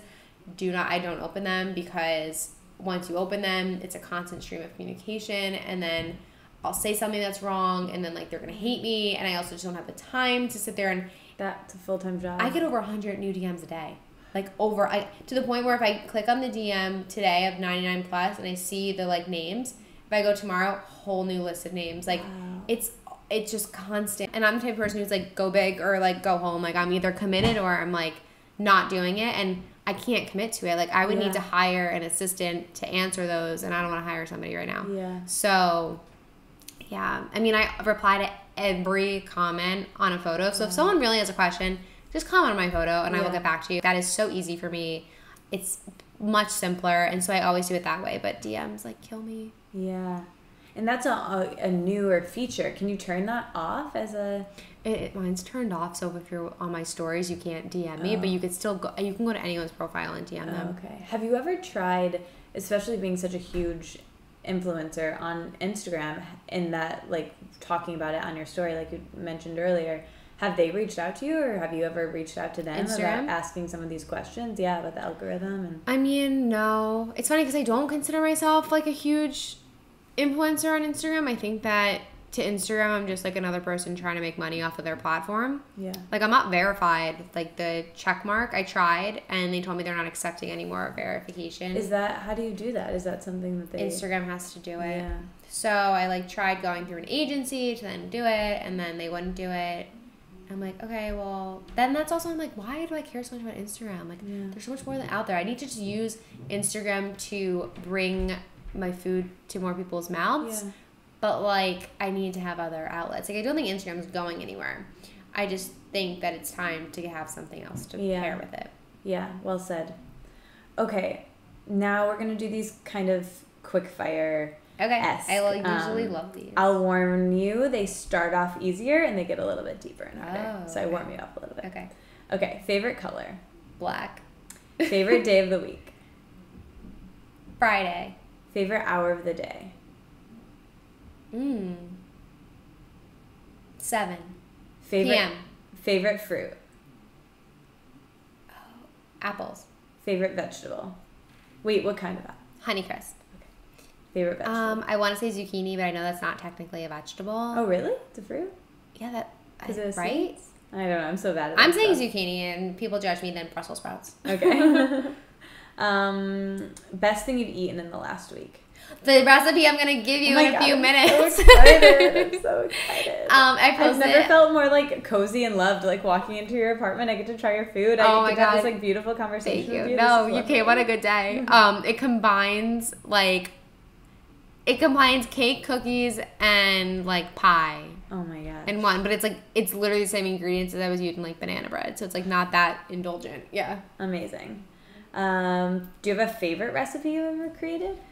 I think my favorite is still my paleo chocolate chip banana bread, which is like nut free as well. And it was my first really successful recipe Oh, wow. that like went viral. And it was just crazy. And people make it every single day and tag me in it. And it just warms my heart and soul that people make that recipe so because it's Mm. probably a year and a half old. And it's my favorite. We make it all the time. Do you have like a fudge recipe? I have Like a pistachio, fudge. Pistachio fudge. I think I made that like when I first. like, is that kind of old? It's like six months old. Or maybe uh, do you have one that you? It's something that I you have, put like, in cups. the freezer. Oh yeah, I got a lot of freezer stuff. It's so, I made one of those. That was maybe like right like when I cups, found you. like some type of chocolate yes, cup. peanut butter chocolate. Yeah, I have a lot of I made like one of those, and So I love them. Yeah, so easy. so easy. Um, that was when I had a much bigger kitchen when I lived in Michigan. uh, morning routines, we already covered that. Evening routines, uh, we already covered that too. Favorite part of your job or career right now?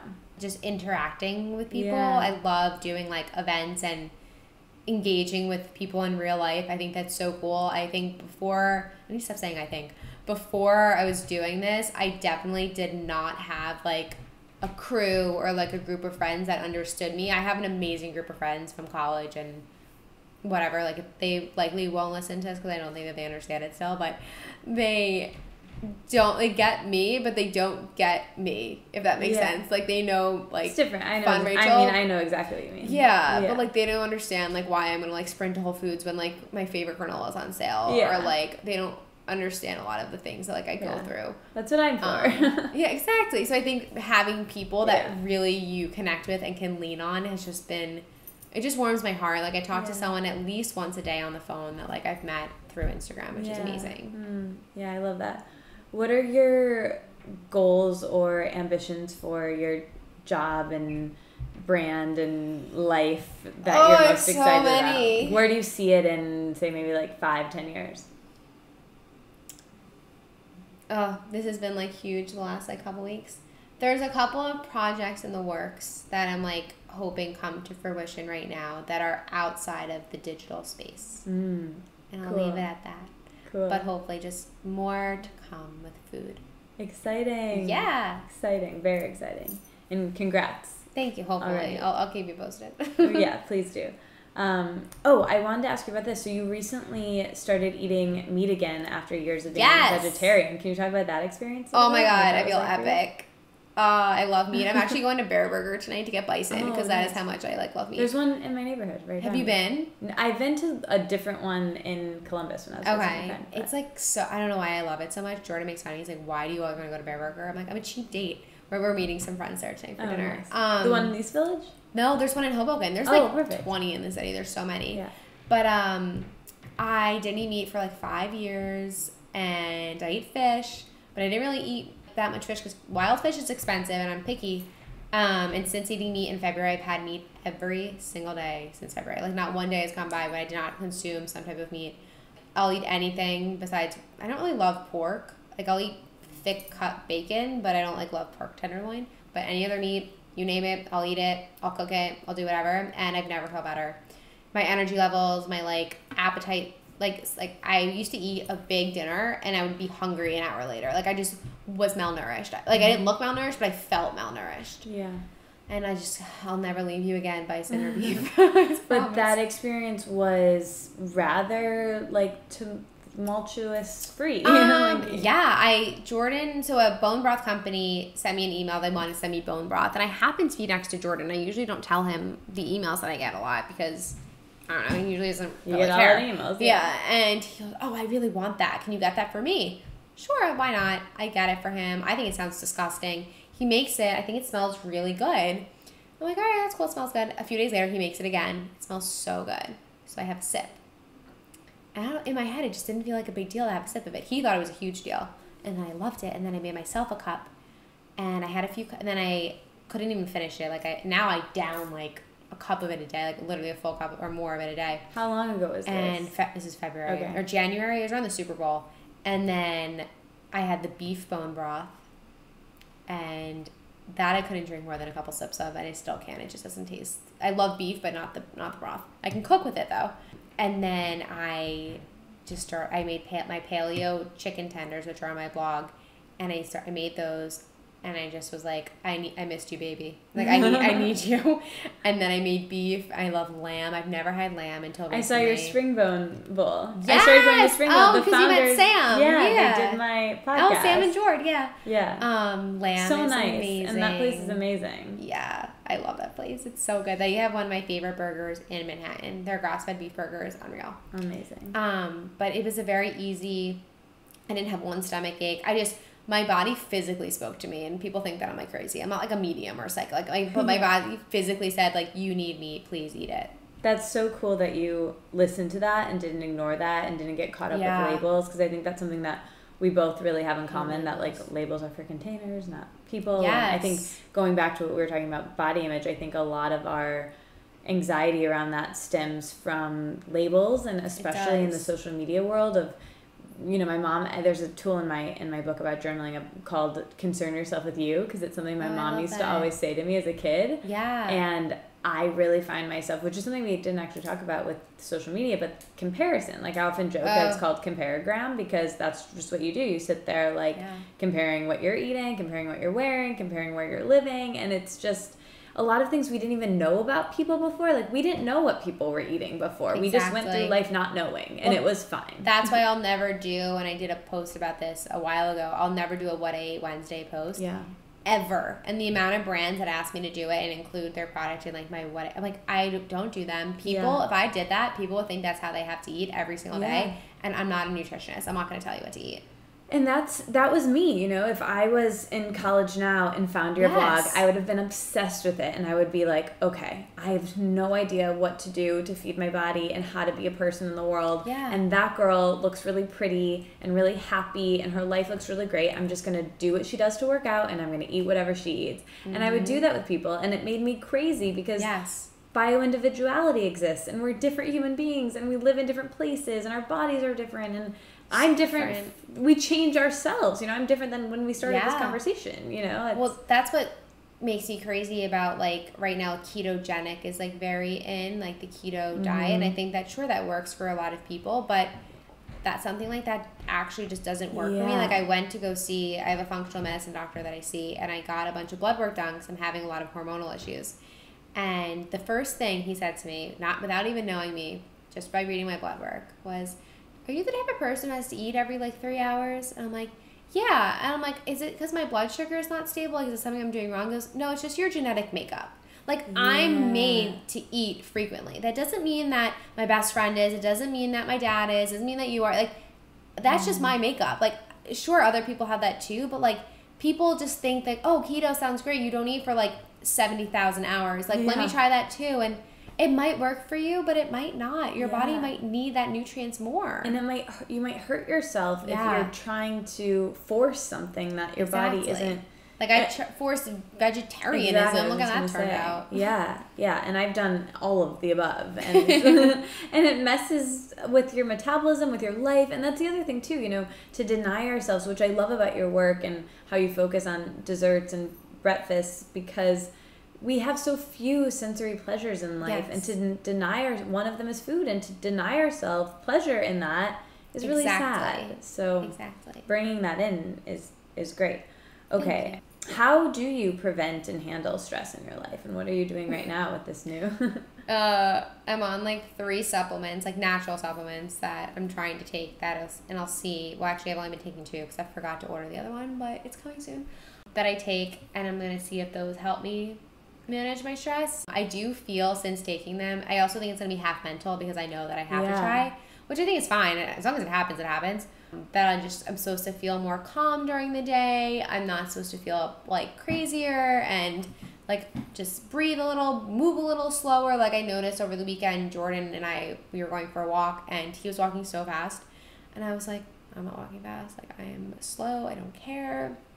And I also am not like a rigorous workout fiend. Like I don't run, I don't do spin, I don't do like weight training. Like I'm pretty like easy when it comes to that. So I don't think that work working out is raising my cortisol. for me. well, when you go, you'll see I modify the entire Okay, thing. good. Like I'm I don't gonna- do I need to be next to you then. Oh yeah, I don't do burpees. I actually just went to Portland to be a backup dancer as aka the professional modifier in a bar workout. Oh my gosh. Okay. Yes. Well, I cuz So, I like- love bar and pilates and like very low impact. Exactly. things. That's okay, what I need to go to the class with you cuz after I went in LA, I was like I love this, but I don't think I could do it every day.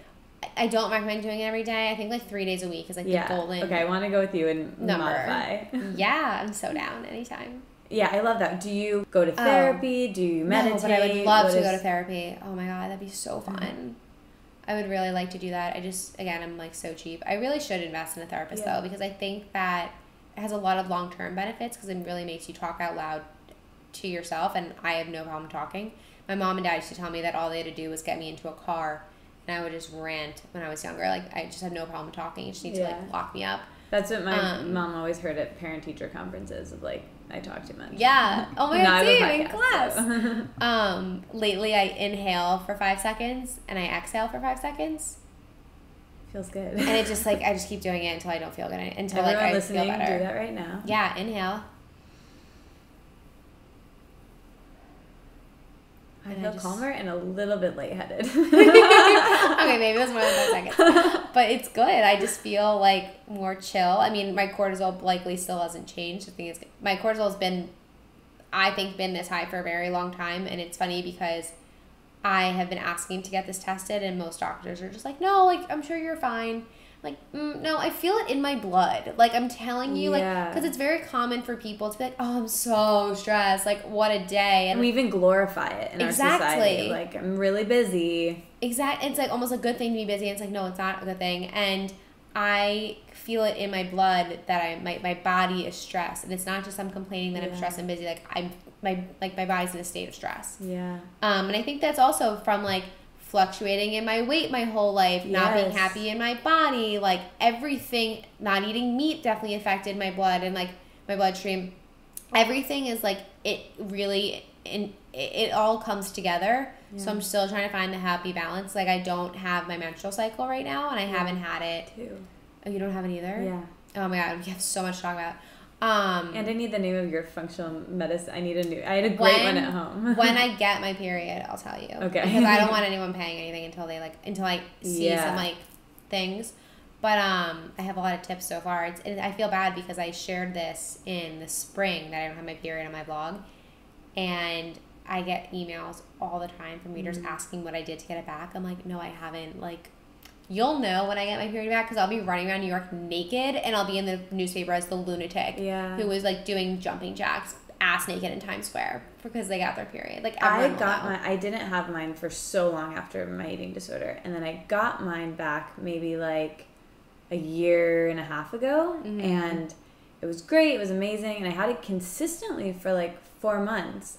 And then when I moved, a little bit before I moved to New York, I stopped having it, and I thought it was maybe just like the change, and I was like, okay, Yeah. it'll come back and then i think my body just like hasn't balanced out to being here and like the cortisol that that just brings you of like living in new york city yeah. so I could believe it, but I'll Yeah, tell you we'll what talk. I'm doing after. Yeah.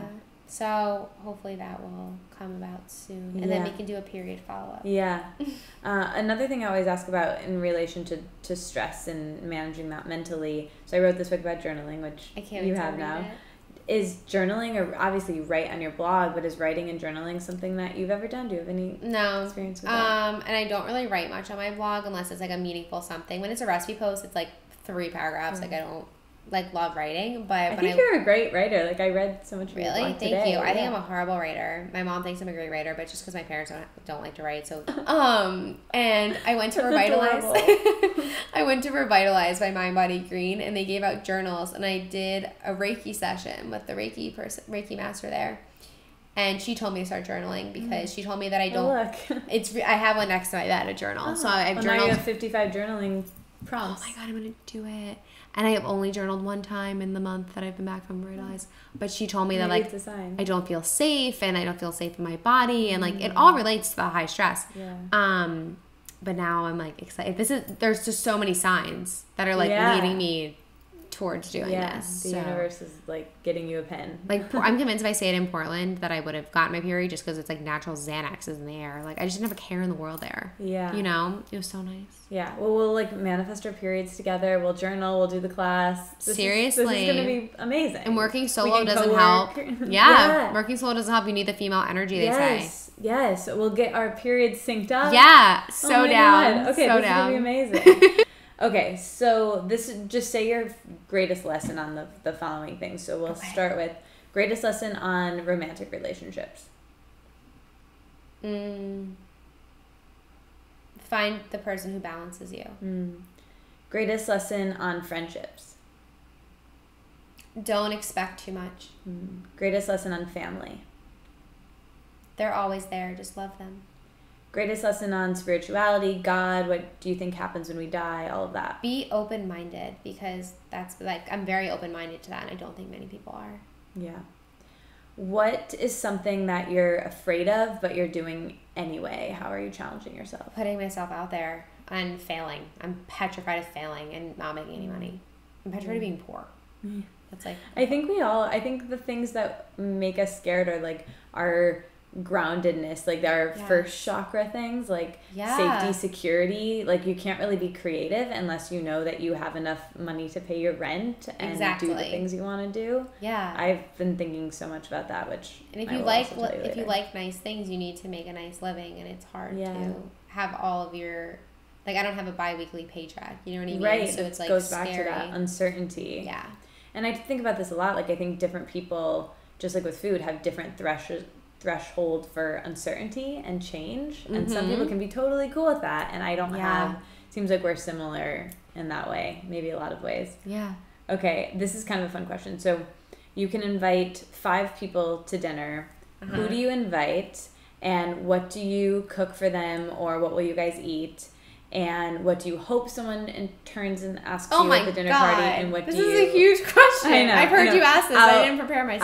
I'll we'll go through it slowly. And what do you not want to talk about? So first of all, who's coming? Who's coming? I have to invite my mom because if I don't, she'll be devastated. She sounds great. I want to meet her. Thank you. Um, she is great. I don't know why I said thank you, but yeah, she is. Shout out to your mom. What's her Um, name? Evelyn. Evelyn. Hi, Hey, Evelyn. Mom.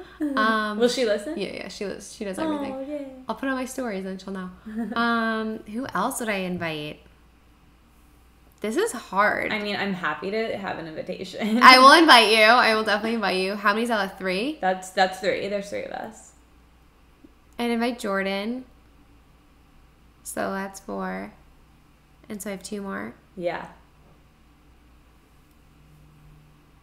I'd invite Jordan from the Balanced Blonde. Amazing. We already know each other. I, so want, I want to invite all vibe. people that I know that like I think would really vibe well in the room. And I would invite Lisa Hayim from the Well Necessities because she just is like magic to put into a room. Oh, I met her at ABCV the other. Oh, like, she loves that place. Yeah. Um, she's like she like won me over. Like I always joke I did not like her until I met her in person, and then I was like, I love you. Like you're amazing, and she's one of my very close friends Aw, too. That's lovely. Um, yeah, I'd want people I know. yeah. And what would I make? And I'd have my mother-in-law there too, if I could, if there's like extra room. She could have my seat. Yeah. Um, because she taught me how to cook. oh, my really? Oh, yeah. wow. So you didn't really grow up cooking? No, my mom didn't let me help. Oh, wow. so is your mother-in-law a really great cook? Yeah, and she has a very similar like perspective on like food and how to prepare it. Oh, wow. So she taught me to like touch raw chicken and like cut an onion. wow. Um, and Jordan's a very good cook. Oh, that's so cool. Do you guys cook together, you and Jordan? Some we do in the winter. We don't in the summer just because it's so nice out and schedules are crazy. But this past Sunday, we meal prep together for three hours. Oh wow! Like, so do you kind of like because I'm really when I'm cooking like this was something that I like had to work through. I'm like you like can't be here and you can't watch. Like I had to. I don't like help. I just have to because I don't know what I'm doing. So I'm like I Oh. can't really like. I'm just throwing things together. I'm so comfortable with Jordan. Like I just don't care. Like, yeah, I guess that was. We've been together for like almost eight years. Yeah. It's like, okay, we- we're, we're done. Um, like there's no awkwardness at this point. But um, what would we serve? I love making pizza, like fun pizza top, like artisanal, artisanal, Yeah. whatever type pizza. We would do. Ooh, I had this like beef poke in Maui in June that I haven't stopped thinking about, where they gave you like the cubes of beef and you quickly seared them for one minute on each side on this hot rock. We would mm-hmm. definitely serve that because it's really good. And then we would serve the dessert that I made the other day. The one I get to And- try? Yeah, Oh that's how much I freaking love this thing. And I don't. I think like I that's it. so oh, what we what would we talk about? yeah. What do you hope someone asks you, and what do you hope doesn't come up? I hope politics don't come up because I just don't like feel I don't feel the need to like talk about them in like open settings. I think it's like personal, um, and I think it's personal for everyone. And that's so I hope someone talks to me about is. Oh, I hope they just like the food if I'm making it. Like I hope that everyone just like talks and asks me a question how they can make it at home, Yeah. or my mom will just ask me to make it again for her. um, I feel like that's I'll it. probably ask that as well. Yeah, I don't know. I just hope that it's Can like they take some home? and yeah, like an open conversation where people just like are relaxed and comfortable. You don't have to like wear a bra or makeup. You Yeah. Just like be there and Laugh. laugh and have fun. And we would probably have like some type of either organic tequila or vodka. I don't really, I'm not a big wine person. Like I'll drink it if it's like a dinner or something, but I like, I prefer like hard alcohol. Um, I think it's a better bang for your buck. Yeah. There's the best wheatgrass margarita. Have you had it at No. Dimes? It's like one of my favorite places in the city. Really? Oh, we'll go and get them. It's so I'm going tonight. I wish you could come. really? Yeah. Oh my gosh, that sounds so good though. Yeah, we'll go another time. I have organic tequila. Or no, not, I don't even know what that is. That's Oh, just I really like that label. It's really, really good. I love that. Tea. I think it's George Clooney's. Like, oh, Oh, well, I like- I he like can come for dessert. Yes. dinner. Okay, so second to last question. So this is really just a way to recommend things, but um, so these can be your ultimate favorites or new things that you really like. But pretend you're trapped on a deserted island and you can only bring with you one book, one movie, one TV show, and one food, and we'll say one one podcast. What would you bring?